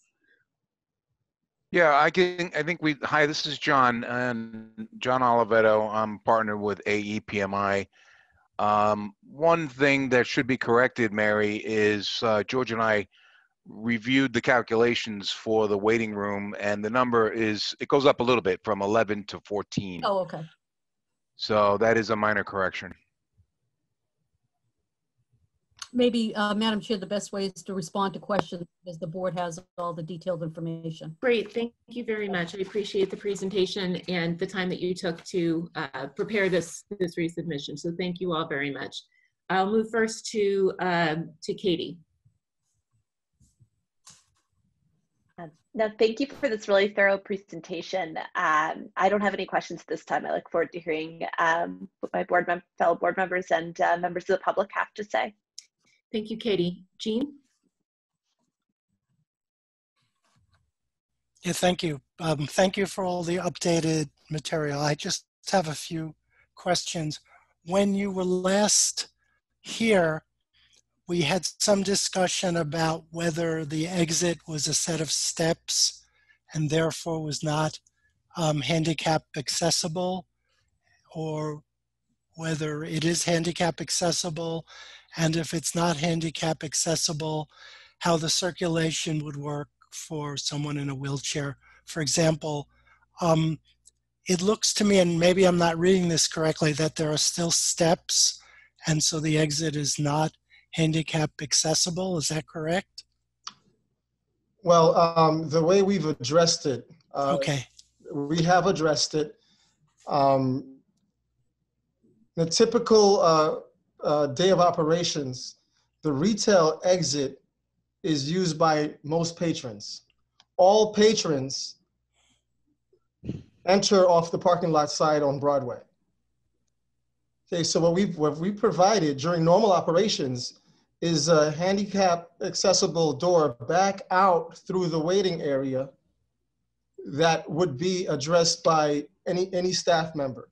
This for controlled access, this door would be closed almost at all times unless there was someone in a wheelchair. Okay, yeah, that wasn't clear from uh, last time, so it's helpful to understand. Now, in case of, in case of an event, uh, an emergency, what we've provided um, at the retail exit is an area of refuge with a call for aid. So in case there's a fire uh, at the other end of the building, this allows uh, a first responder to be alerted when there, there's an individual in, in a wheelchair that, uh, that needs to be attended to. And based on the occupant load, we're only required to have one. Jenny, can you scroll down a little bit, please? And George, just just to add to what you were saying, um, I think the board. Um, I just wanted to point out that the the double door design is something we added per the board's feedback um, to allow the handicap um, to have a handicap access point to leave the retail floor. That And that Mike, was we- a change from the last iteration. And Mike, I think the the other additional change is actually the area of refuge at the retail Correct. exit. Yes, so, so there were, there were, um, we did take into consideration feedback from the board and, and made the, those were the two, uh, major changes that we made in the design. Okay, thank you. That's very helpful. No, Um, no worries. pardon? No, I said, no, you're welcome. Um, uh, second is, um, so the LEED checklist, you were going to get us an updated LEED checklist, but I don't think you did. I believe that- the checklist did not change, John. That is correct, Mary and uh, Gene. When we looked at the uh, available points, we fell short of the minimum threshold at the certified level. Um, We did think that there were some credits available uh, in the maybe column or the questionable column. Um, But however, those, those areas for additional credits would involve changing out HVAC units, uh, and the like to try and garner some additional credits. Um, this is a leased facility. The infrastructure is what it is and would, um, would cost, uh, time and effort and money to our client. Okay. Um, third question. So I, the news the other day included that the um, cannabis, cannabis, cannabis control commission voted to allow home delivery of product. And I wondered whether there was going to be any home delivery made from this facility. So I, I, I guess I can take that. Um, for one, it's I, I think that decision is is highly dependent on the town's regulations. We don't um, one for one we're not we're not allowed to own any aspect of those delivery services yet and they still have to define those services over the next few months. So as you know they have the courier and the uh, delivery model. Some of that is um, specifically for wholesale delivery not just retail delivery.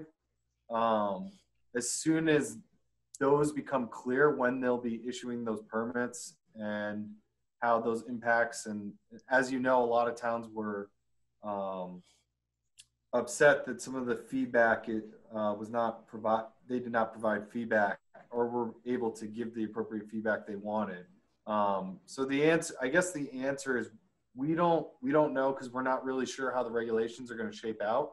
And we would obviously default to the town on whatever their their rules are with those regulations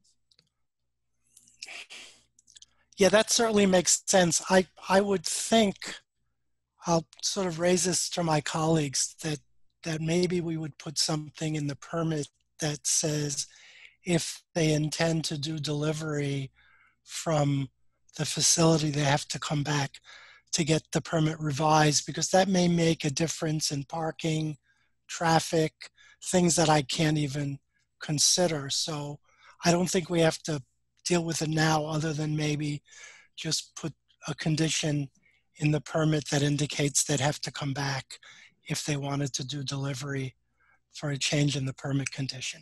Those are all the questions I had. Thank you, Gene. Uh, Ken. thank you, coming, thank you for coming back with uh, these new documents. Um, I do want to mention um, thanks for the change from the block wall between the two entrances at the uh, off the parking lot. Uh, I guess the owner really doesn't want um, a, a, big separation there because you changed it to a, a steel grate. Um, I, I, was think, envisioning more of a you know a planting bed, you know, very a softer um, separation, but um, if that's what he wants, I'm not going to push it much further than that. So, so uh, Kim, we did look at vegetation um, as an option. It just it didn't look like it would survive in those conditions, being because it's a it's a shaded overhang, um, and it would be a small area for planting. So it was unfortunately kind of the the best route we could go. Um, you know so we tried to we tried to present options if if if there's if they feel if there's something that you feel strongly about that's not a huge change we're we're obviously open to it even after this. I mean it's a it's a small you know it's a it's a small change. We just want to that was the property owner was just very adamant about keeping it separate. It's it's his building. I you know. I, I, don't feel I don't feel strongly about it, Michael. Okay, I, am just commenting on the fact that you know it's still quite a steel barrier, you know? Yeah. No, I, uh, I understand. I mean, we, you know, there's not a lot of property owners that that would even talk to us about having a store in these areas, and and so I mean, over the steel barrier, it, it was just something we couldn't push given how much they've been willing to concede to let us just do business in their building. So I'm not going to push it. Okay, I uh, appreciate uh, that, Ken. Um, the other thing is, uh, you presented these nice uh, decorative glass films. Can you explain where they're going to go? Or what are you going to use which ones for? Oh, those were just, those were options. Uh, uh, this well, it's a 3M. Which, which ones do you like? Well, well so Ken, I, from what I from what I remember in the last meeting, the the um, the board wasn't too keen on the matte or the just the pure gray finish. So I mean, we again we tried to produce. This isn't like a deal breaker for us on design. So we tried to present options. Um, if there's certain options that you guys feel strongly about one way or the other, you know, we're obviously more than happy to accommodate. And are Um, you? so we tried to c- come up with some different. Ken, Yep. are you, are you asking where these films would be applied? Well, I'm assuming they're going to be uh, applied at the windows along the front of the, at the front of the building, but which ones? I mean, there's like a handful there to select from, and they vary all over the place. I'm going to step away from this for a little bit because uh, it's actually it was Rachel's uh, comment uh, from last meeting that uh, she she asked you guys to look at some of the, this stuff. So I'll let her. Um, She can pick. yeah, well, I'm, I'm give a suggestion or two, but I'm gonna, I'm gonna leave it at that, okay?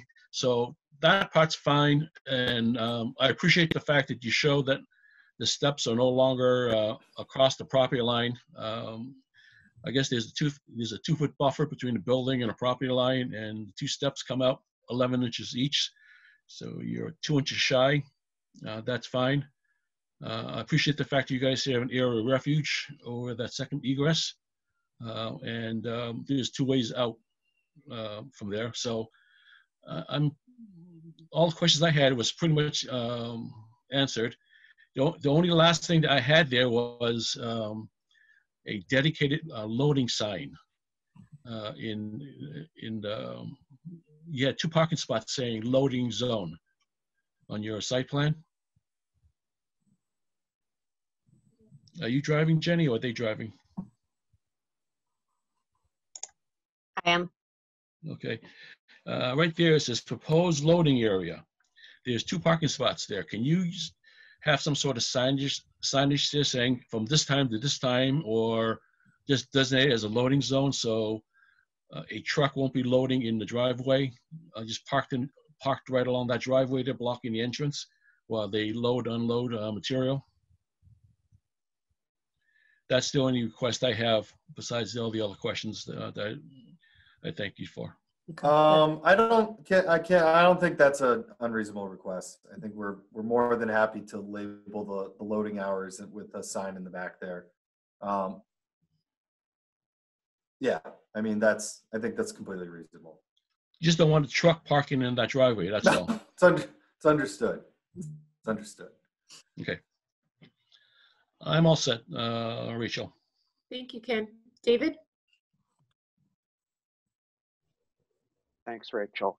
Uh, well, I appreciate uh, that you all have addressed many of our questions from from last time. Uh, with respect to uh, to bike parking, um, can we take a look at both where the bike parking is and what ki- type of racks are being proposed?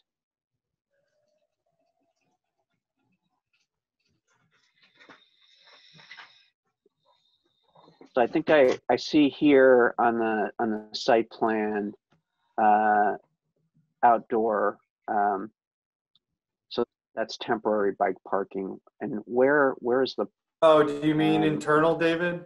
yeah where's the longer term and uh, I think we have that in the design located? and on the I, I know where it is. It's on, it's outside the retail place. oh wait I think it I think it was up a little bit. Yeah. Yep. it was. Yeah. it should be near like, um, we retrofitted one of the, uh, existing closets to make a, uh, No, biking now, area. from now what down down slightly, Jenny. Yeah, right there. And, Can you and, o- and center over that little on the right? It'd be over to the right. Yep. Yes. Yep. Okay. So how how is where is that exactly? For the, uh, where is the, when you walk in, so you, so you have to remember, David, when you, most the, a large part of the building is, um, outside the retail space. Um, Right. when you walk in, there's actually a, a large series of rooms, um, that the property owner just wished that they weren't, um, kind of, even though we rent out that space, uh, they made it clear he didn't want like certain areas for, for loitering. So like there's bathrooms for our employees if they want to use it. There's a there's a closet in there. Uh, and so we used a bunch of those rooms for kind of these extra amenities for staff, like um, like being able to uh, leave their bikes and, and and such. Okay. All right, so that makes sense. So that's, that's entered entirely separately from the retail space. Right, yeah. And this is, and this is for employees mostly. Yeah, It was just, that was, you know, so they, they specifically, Jimmy wanted to specific, the property owner specifically, um, as part of us uh, leasing out, he just requested that we didn't have customers in that area, so we got creative with the design, but still allowed access to our employees to all the necessities. And it's, Okay. it's still a pretty large area if you go into that, into that building. Yeah. Um, So there should be ample room. okay. And the note there indicates that those are, uh, are U-shaped uh, bike racks, which uh, if they're the typical inverted U, that's, that's certainly acceptable and would provide parking for up to, up to four bikes. Um, uh, I, I thought I saw reference to another style of bike rack somewhere. Is there a different style proposed for the short-term bike racks? There's a, there's a detail on the uh, site drawings. Yeah, Bola Uh, 'cause my- provided that.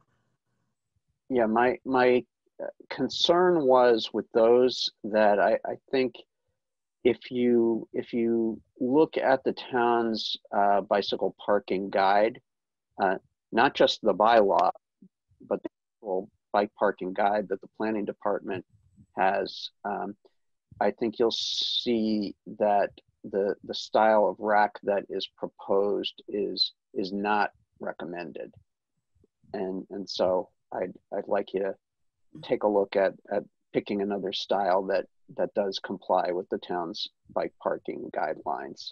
Okay, we will do that. Um, but uh, yeah, I appreciate that you you found an interior space um, for uh, for employee bike parking. That's that's very preferable.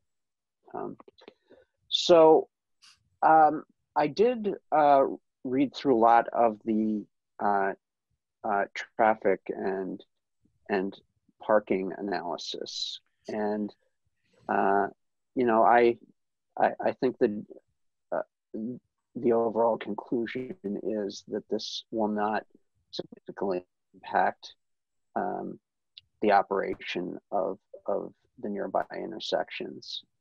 Um, I did note that there was some potential uh, for queuing on Sunnyside to extend beyond the exit driveway for the building um, uh, during during the peak hour. I think um, so. Uh, there there may be some difficulty in people getting out of of the parking lot uh, at that time potentially.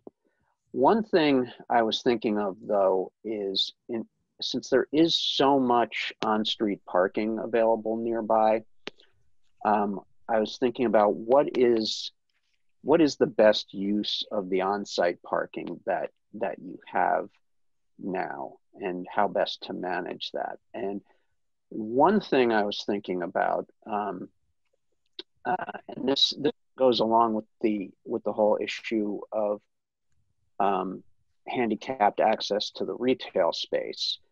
And I, I do see you have one one of the spaces marked as a handicapped space.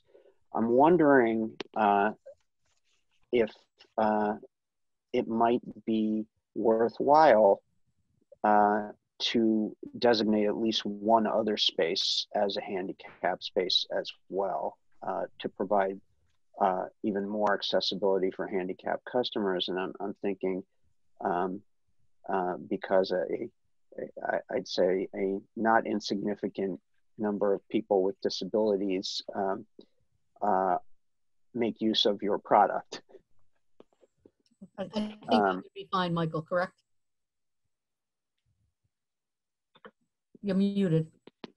I, I, can you say that again, Mary? Uh, uh, David is suggesting a second handicap space in the lot, and I think that's fine. Okay, good. Yeah, so I was gonna say I'd had to punt to you because I don't know if there's any. I mean, sure, we're more, we're obviously more than happy to. Um, and I, I, I agree with you, David. I think most of it will be, you know, the kind of that on-street parking. So it would be nice to dedicate that those areas. I just didn't. I I, I just had to punt to Mary because I didn't know if there was like a, a zoning repercussion or something like that that I just didn't know. Well, that yeah, I'm I'm I'm kind of thinking off the top of my head here, so definitely do want to make sure that that wouldn't cause you a problem unnecessarily. But I, I think from a customer perspective, it would be a nice thing. Yeah, we, there's there's Um, there's no reason that that would be an issue. We'd Yeah. be more than happy to, as long So- you know, barring a legal issue with the zone or something. I, I don't see. Right. issue.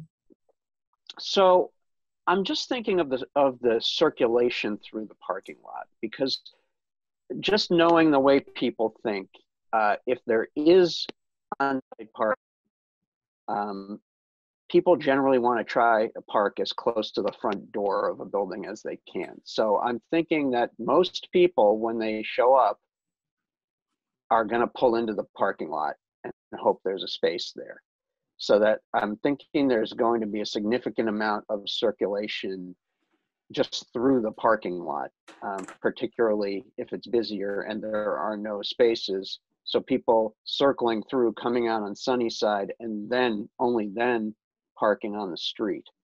And that seems like uh, I, I don't think that the traffic analysis really looked at that issue.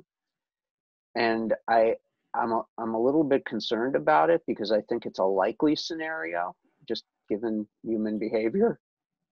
And I'm I'm wondering, you know, whether um, there's a way to manage it better to really encourage people to make use of the on-street parking. Um, You know, uh, I- if I could say this, David, the lot is so small that I think when people pull up, they'll be able to eyeball um, whether there's any available. It's not like it's the Stop and Shop parking lot, you know what I'm saying? Um, It's, it's so small that I think you're going to get more people pulling up um, uh, on the Broadway side, on the side of the building, and just pa- parallel parking on the street as opposed to pulling in. Well, is as part of the uh, parking and, and queue management, um, and I think we we correct me if I'm wrong, but I don't think we've actually seen a, a written plan for that. But um, is the intention to at least in the beginning to have a staff member outside who can direct people? Yes.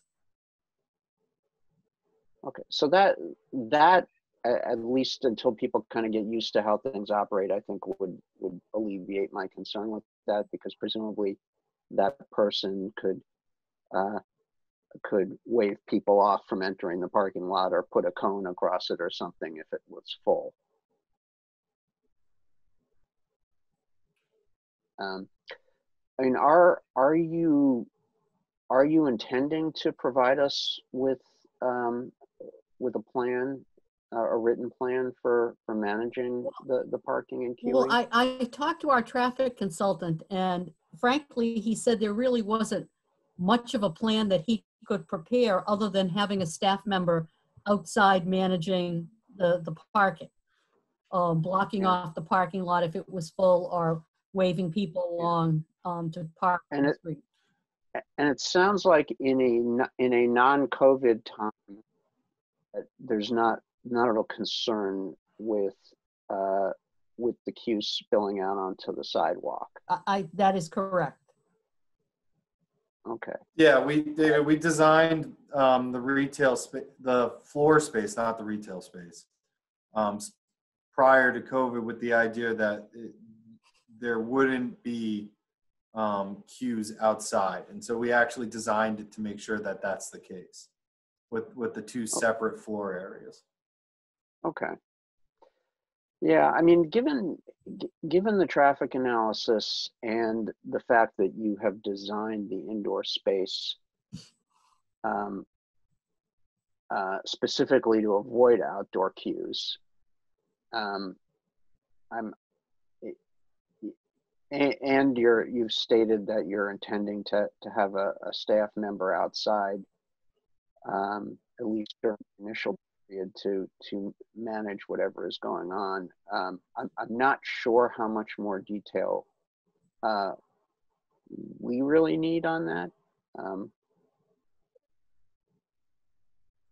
Um, but uh, if any of my colleagues have, have questions on it, I'm sure they'll ask. Um, I didn't really have any other comments. Uh, I mean, my only other question was about the handicapped access uh, at the exit, and, and I think you've addressed that.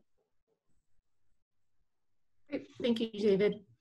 Um, so I just had three minor questions or comments. Um, so the the first being um, with regard to the since we're on the parking plan, um, Jenny, if you could just scroll up towards the egress onto Sunnyside. Oh, sorry, still in that same plan. Right there, perfect. Um, I I think per the um, per the original traffic um, report, it was actually, sorry, the section of, there you go, right there. Um, there was, they had recommended a painted stop, um, you know, the, the word stop, so the painted white stop um, sign on the, on the egress portion there before you turn onto Sunnyside, is that That's correct. Yeah. correct? So is that something you will be adding? Yes. I know that was one of the the other items. recommendations, Yes. Okay, great. Um, my next question, um, or actually is a request, if we go to the page with the screen, and actually both of my questions are about the glass treatment and then the screen itself. Um, I appreciate, as Ken mentioned, you looking at a different option for the, for the screen, um, which I think is on the, the detail is on the page prior to this. Yes. So my only request here, and again, because it, it just, again, it's such kind of a difficult barrier, um, as opposed to, um, you know, what we were originally talking about doing, trying to soften it a little bit. Rather than just having that as kind of a galvanized screen, which I think is what you're showing now, if you could perhaps just powder coat it to match the storefront framing, um, you know, again, that'll just make it look less like some sort of an industrial metal screen, which is what we were trying to stay away from. Is that something you'd be willing to consider? Uh, yes, we could actually match the new storefront, which will match the existing. Um, from a design standpoint, this is a uh, metal fabric screen, and we're actually using it within the, the retail store. So the thought Okay. process was to actually provide the, um, from a, a design standpoint, was to provide the patron with a foreshadowing as well of the retail experience. Um, initially, the uh, the um, the property owner wanted to segregate the two populations, uh, and we thought, okay, well, but he also wanted transparency. Um, so that and we thought, okay, well, let's let's just bring the experience from the inside out. Uh, there there are different ways that we could do this. This is um, stainless steel. Um, and it's it's it doesn't show as well on the rendering or on the drawing, but it's actually a high-end uh, material. Uh, we could select one that that uh, that matches the the bronze, uh, the dark bronze color of the of the new storefront. Uh, no, I think if it's possible, perhaps if you could um, just email to Jenny, if you have any more, maybe a photograph of showing what this material looks like, that, you know, I think it might just, to your point, it may just not be rendering Yeah. um, the way that we'd all like to see it. So it, it- perhaps if you could just um, send on a photograph, we can just take a, a quick look at that. But um, that, right. that's great to know that there is some sort of a language that's speaking between the interior and exterior here. So that's that's great to know. Thank you. Um, and then the last question I had was specifically on which glass which glass treatment you you were all leaning towards because there are quite a few options which all have very different aesthetics. Um, and my initial thought in looking at this was that you know even if it's perhaps a mix of some of the more decorative items, I know you have that curved area storefront there on the on the corner. If you know perhaps there were some of the more decorative elements that are used, whether it's on that three window bay and then more of the fritted glass treatment um, on the on the balance or you know again I, I just wanted to hear your thought um, on how you were what you were leaning towards and how you were looking at using these Well, I, being from the Caribbean, I wanted the colorful one. Okay, But then I thought, well, let's just present some options from the more uh, uh, the more reserved, all right, to the to the more fun. So what you're seeing is pretty much the whole range. But the first thing I touched was the the more colorful pattern. Um, and uh, you know we are the Northeast, and some some folks might you know they kind of uh, avoid color.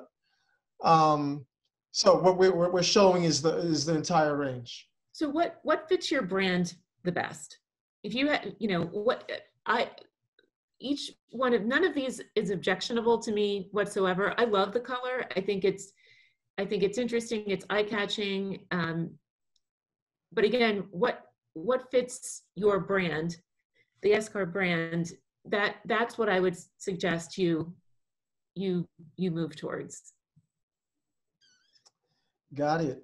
Uh, And again, No, you, don't what- have, you, you don't have to, you know, decide right now. You can work through this with, you know, Jenny after this project is, is approved. But, you know, like I said, if, if you do choose the, co- the color, my, my thought was initially, let's, you know, perhaps use that on the, the corner, you know, or, you know, some prominent area and then perhaps back it off and by using some of the more fritted glass options on some of the other windows and so that you have a little bit of variation in your facade. But I, I do appreciate that you went there and um, I, I actually like the, the color option. But again, I would rather you use something that expresses the brand and you know what what you're trying to achieve throughout the the full um, aesthetic that you're that you're incorporating on the interior and how you might bring that bring that outward. understood. Yeah, Rachel, I, I mean, so, you know, our brand is obviously kind of like an outgoing, the idea of Escar, at least from what the inside, what we've tried to put together is kind of this outgoing, outdoors, non-corporate feel to like this event. Mm-hmm. Um, that being said, my wife doesn't even let me pick my own clothes. So I'm gonna have to default to George on a lot of these style choices. so I can't tell you if the I mean, so so if you feel strongly or George, you obviously feel strongly one way or another, we'll obviously default to you guys because I mean certainly George, I mean you you know, you designed you designed most of the space. It it looks amazing. So, you know, we'll obviously trust you one way or the other. All right. Um, what what we'll do is we'll get, we'll get our heads together, and I, I will send um, some options uh, to Jenny, Great. and uh, the two mics will will have a conversation as to uh, how to make make everything uh, come together. Okay. Great. Great. And like I said, I do like the direction that you're heading here. I think that it's graphic, it's bold, it's what we want people to to incorporate in their in their windows when you have the restrictions that you do as a cannabis retail estab- establishment. So thank you for for pulling for, for pulling this type of inspiration. It's refreshing. You're welcome. Great. Um, are there any other questions from the board before we open this up for public comment? Great. Uh, so we will now open uh, the, the meeting up to public comment. Any members of the public wishing to speak, please use the raised hand function. As a reminder, please uh, state your name and address before you begin to speak, and then you will have three minutes to address any comments. The first speaker will be Don Seltzer. Thank you. Don Seltzer, Irving Street. I like the color option too. Um, I only have one comment about this. Uh, it's a small one regarding the handicap parking spot. Um, if I understand state law, when there's only a single handicap space, it has to be van accessible, which means that the access aisle on the side of it, instead of being five feet wide, has to be eight feet wide. Uh, I thought David Watson made some very good comments about adding a second handicap space. And if you were to do that, you could share that access aisle between the two spaces and save a little room. Um, that's really all I have to say. It's obviously a very well thought out proposal. Thank you, Mr. Seltzer. Are there any other members of the public uh, who wish to speak on this docket?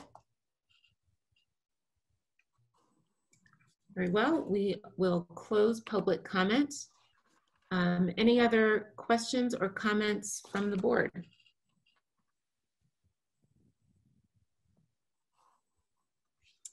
All right, seeing none. um, Let me get back to my agenda here. Too many things open. Okay, there we go. Um, Let's see, uh, I think we will probably be ready for a, a motion uh, to move this, this forward, a motion to approve unless there are any other objections um, from the board. And I want to make sure that we word any motion with any um, conditions that were stated. And the only ones that I have that I think would need to be stated as a condition um, Gene, was the item that you had stated about any um, change to the operating status to include to include new services such as home delivery would require a um, a change to the to the permit condition and a reopening of the special permit. Okay. Yeah, I just, yes, let me just, the, the other things, I just wonder whether they need to be in here or not, or some of the um, responses they've done to the TAC, things like the stop sign, the, the shared spaces out front. Do I don't know uh, whether those need to be conditions in the permit or not. I don't, Jenny, I'll uh, defer to you, but I think from a technical standpoint, I don't think that those need to be conditions of the permit. They're just noted for revision, correct? Correct. Okay, And I'll just put something about this comment you have, Gene, about uh, the uh, delivery. So we, we need to amend the zoning bylaw to allow for that type of uh, use. It's not allowed right now. And then Okay. further, the host community agreement would have to be updated. So the applicant would actually have to go back to the select board regardless, as well as to the Cannabis Control Commission to probably amend whatever, uh, you know, well, the regulations are still being finalized. Let me We're actually far out start in there. front of it, right? right. Yeah. I, you know, that's why I think it's important to just put something in this that Yes, says they I have was to come going back to to end us with, too. it's harmless to do that, but it's also, um, it's a little bit ahead of ourselves, uh, to put it into a permit where it's not even allowed right now. But I wanted to outline for the board that it is something that actually we're gonna be talking about on Wednesday night, uh, when we talk about other zoning amendments, uh, that are needed, and this one will be needed. And once we have the regulations from the state, we'll know what we can actually do. The buffer zones have also changed, so. Thank you, Jenny. Uh, David? But I don't, I don't, the, the uh, TAC doesn't need to be in the, I'm, I'm looking at the recommendations right now. I don't think that uh, anything needs to be amended in our decision. Thank you. David? Uh, well, this was, I think, a question for Jenny, uh, which is, uh, you know, given everything we've discussed, um, do we still need to have, for our purposes, a written parking and queue management plan? Or uh, I note that in the proposed special conditions, um, that talks about working with the police department and town council and minimizing or eliminating impacts on the neighborhood. I mean, perhaps we could include specifically any traffic or queuing issues that arise, but I would ask you if that was sufficient, Jenny. David, I believe that special condition number one would capture that. And that as part of the MOU with the goal of minimizing and eliminating impacts on the neighborhood surrounding the facility would capture uh, the issue of queue management. Um, Though at the same time, if you think it needs to be specifically called out, that's separate, but it would be uh, something that we would review as part of that MOU. I I would like um, to specifically uh, reference um, um, traffic parking and queue management uh, in that in that in that particular condition, um, particularly since in this case we're not requiring a written plan for that.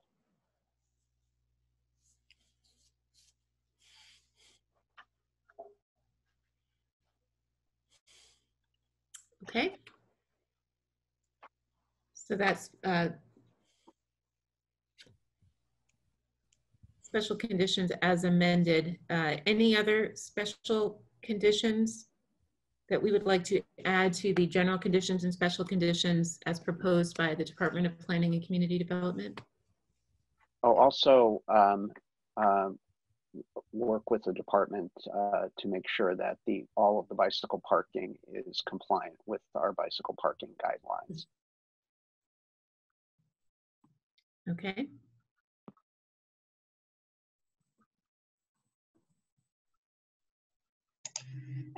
Just before, um, I'm going to skip back to the last one for a second, David. I, I'm just looking at special condition number three actually says queuing is prohibited in any public right of way.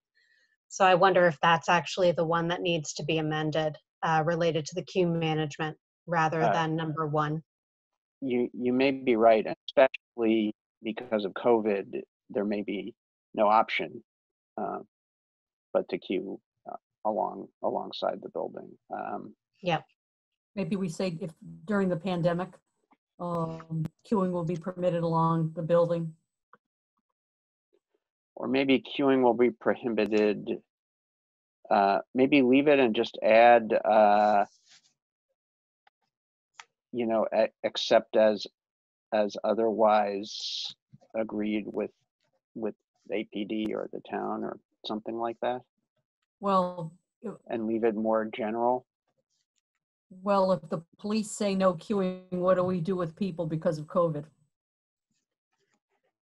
Well, this is being addressed right now with, with the current facility, um, you know, in Arlington Heights. So I, I don't, I don't see that as being an issue, although I think it's okay to reference except as otherwise allowed. Um, that might be the easiest way out um, from it. But it, it's just, this is a, this is a special permit that lives with the property forever beyond the Right, you need to pandemic. So I want to be careful what, what the clause is here that's allowing you to do it um, when otherwise it's prohibited. So, Well, maybe we, you, maybe you cue it right into, um, the public health issue right now. While, while the social distancing guidelines are in effect, you know, may something to that effect. That will limit it. And you won't have to worry about, um, when there are no longer social distancing requirements in effect, there'd be no queuing.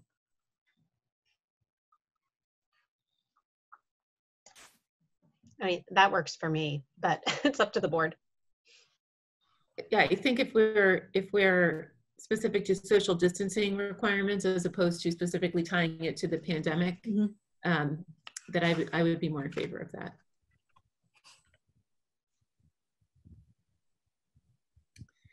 Okay, so we have um, special condition number three as amended. Um, The condition added to, um, related to home delivery, which again, we, we know we're out in front of. Um, Were there any other special conditions that we needed to add? I Bike, the bike parking. and the bike parking. That's right, work with the department to ensure all bike parking is compliant with guidelines.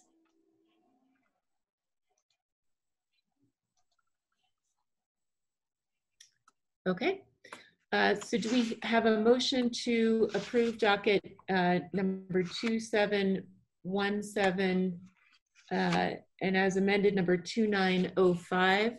um, with the general conditions and special conditions as proposed by the Department of Planning and Community Development and as amended per our discussion.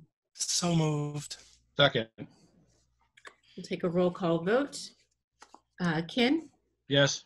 David, Yes, Gene, Yes. Katie, Yes.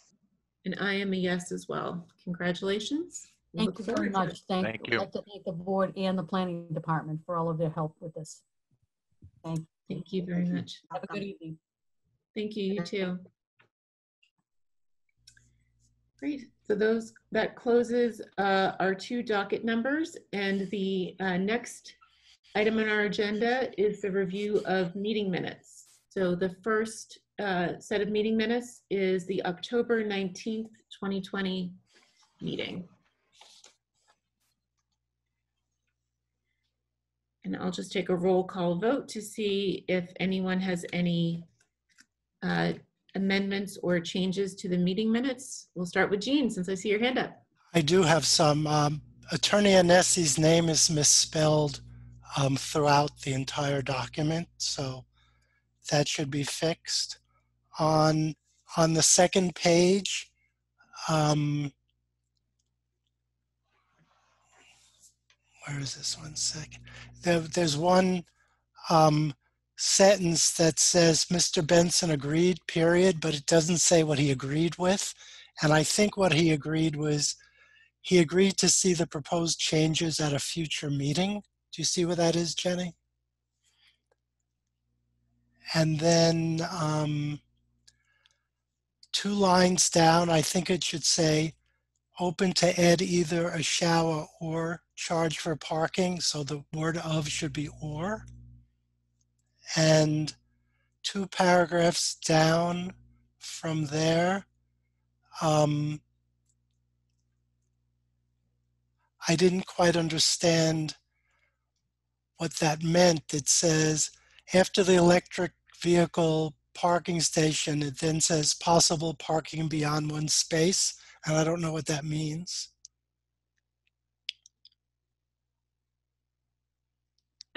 I'm gonna have to read it. Hold on. I mean, the re- I understood the rest of the paragraph, but just that one clause, possible parking beyond one space. Um, maybe more than one electrical ve- electric vehicle parking I, space. I don't I don't know what it referred to. I don't know.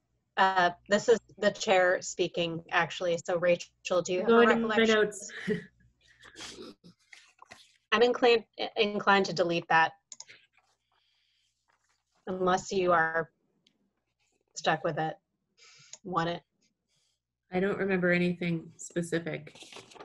I deleting it's fine because I couldn't figure out what it meant. I was thinking it was electric vehicles, but it doesn't make sense. So I'm not sure. Sorry. And then on the next page, um, the second paragraph, it says the chair closed public comment, requested a motion for approval, and then it says Mr. Lau seconded. It doesn't say who made the motion.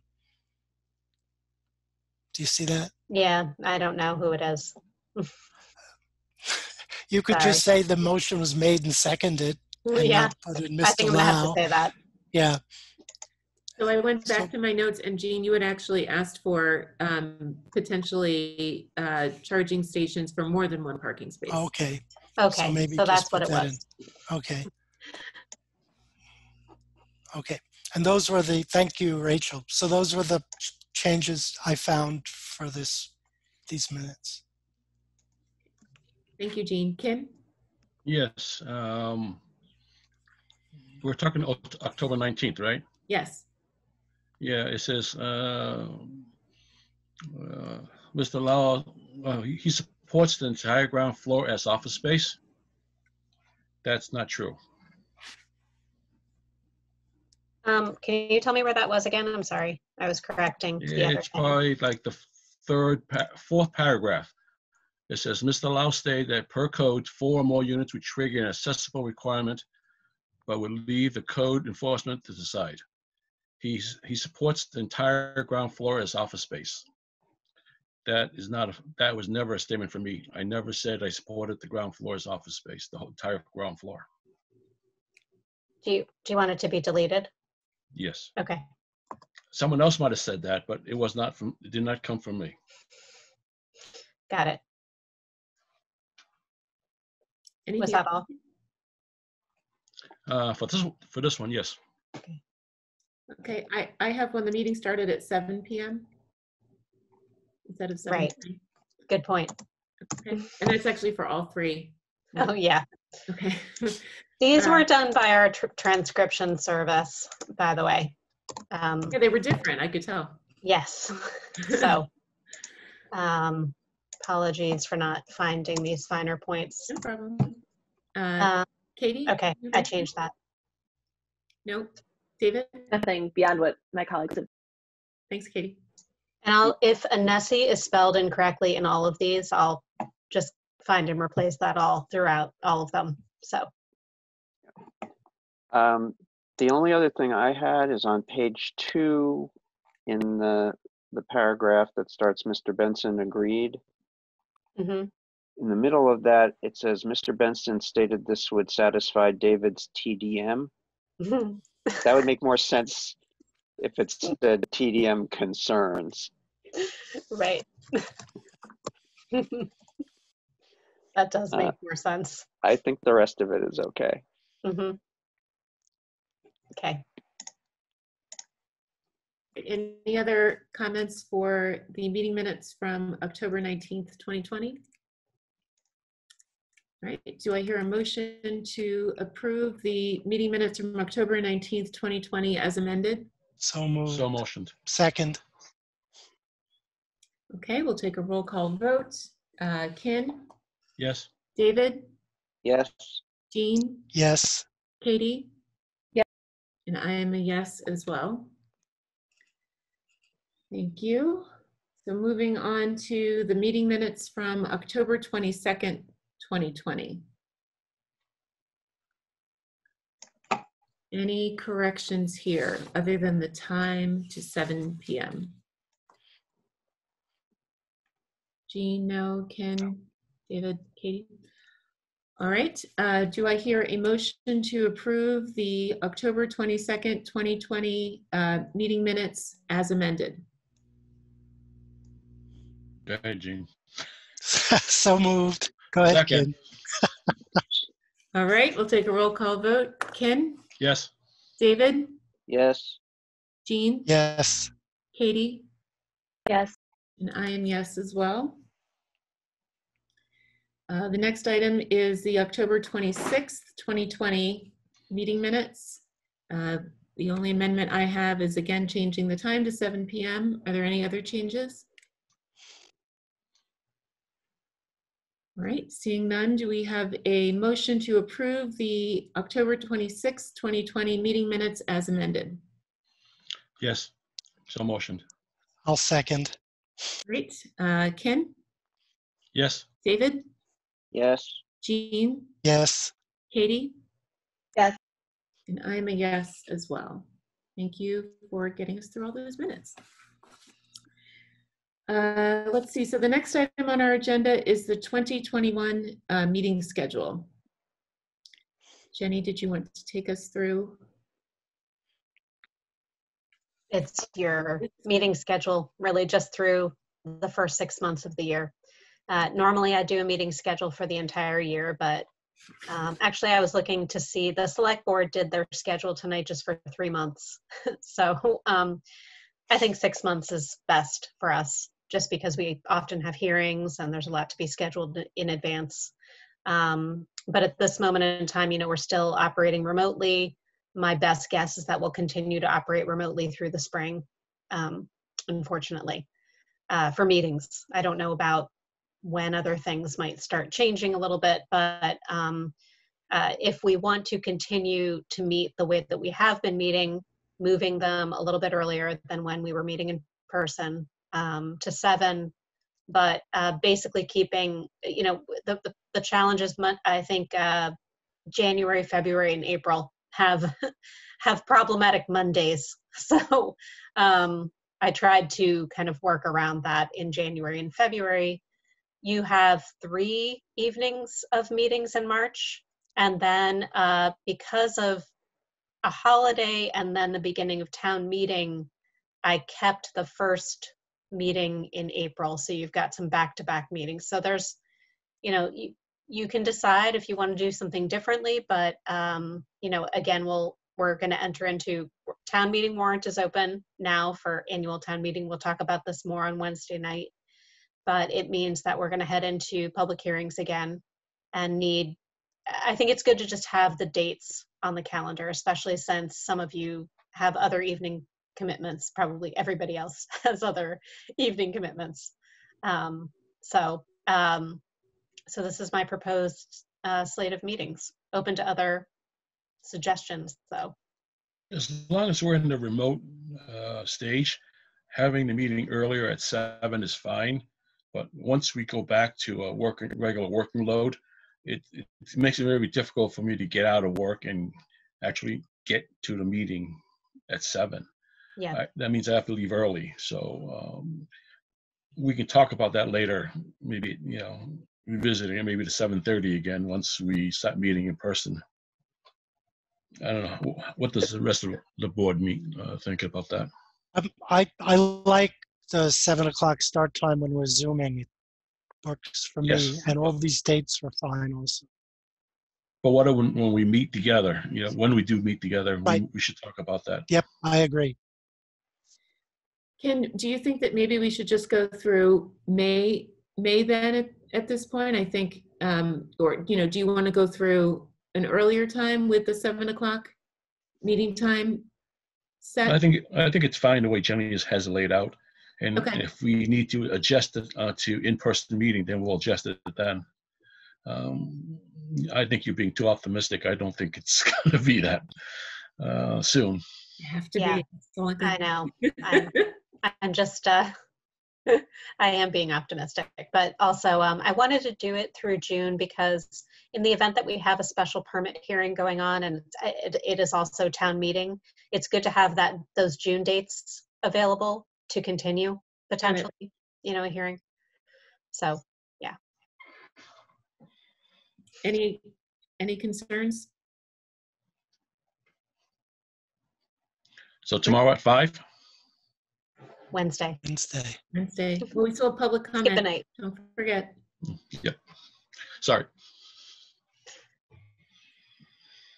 Okay. Do, we don't need to vote to adopt those. I, Um, it would be good if you did, then we, then we basically post them on the calendar. super. Uh, do we have a motion to approve the 2021 proposed, uh, meeting dates? So motioned. Do we have a second? Thank you, Katie. Uh, we'll run through a roll call vote. Ken, Yes? David, Yes. Gene, Yes. Katie, Yes. and I'm a yes as well. Great, that closes that meeting, that agenda item. Um, so we will now move to open forum. Open my participancy. Any member of the public wishing to speak, uh, please use the raise hand function in the participant section. I don't think anybody's have- here, by the way. Oh, it's just us? It's just us. Yes. Okay. Well, seeing none, I will close the open forum for tonight. uh, And we will see everyone at 5 PM on Wednesday. Do I have a motion to adjourn? So motioned. Second. Second. Roll call vote. Ken, Yes? David, Yes. Gene, Yes. Katie, Yes. and I'm yes as well. Thanks, everyone. See you Wednesday. Thank you so much. All right. Bye-bye.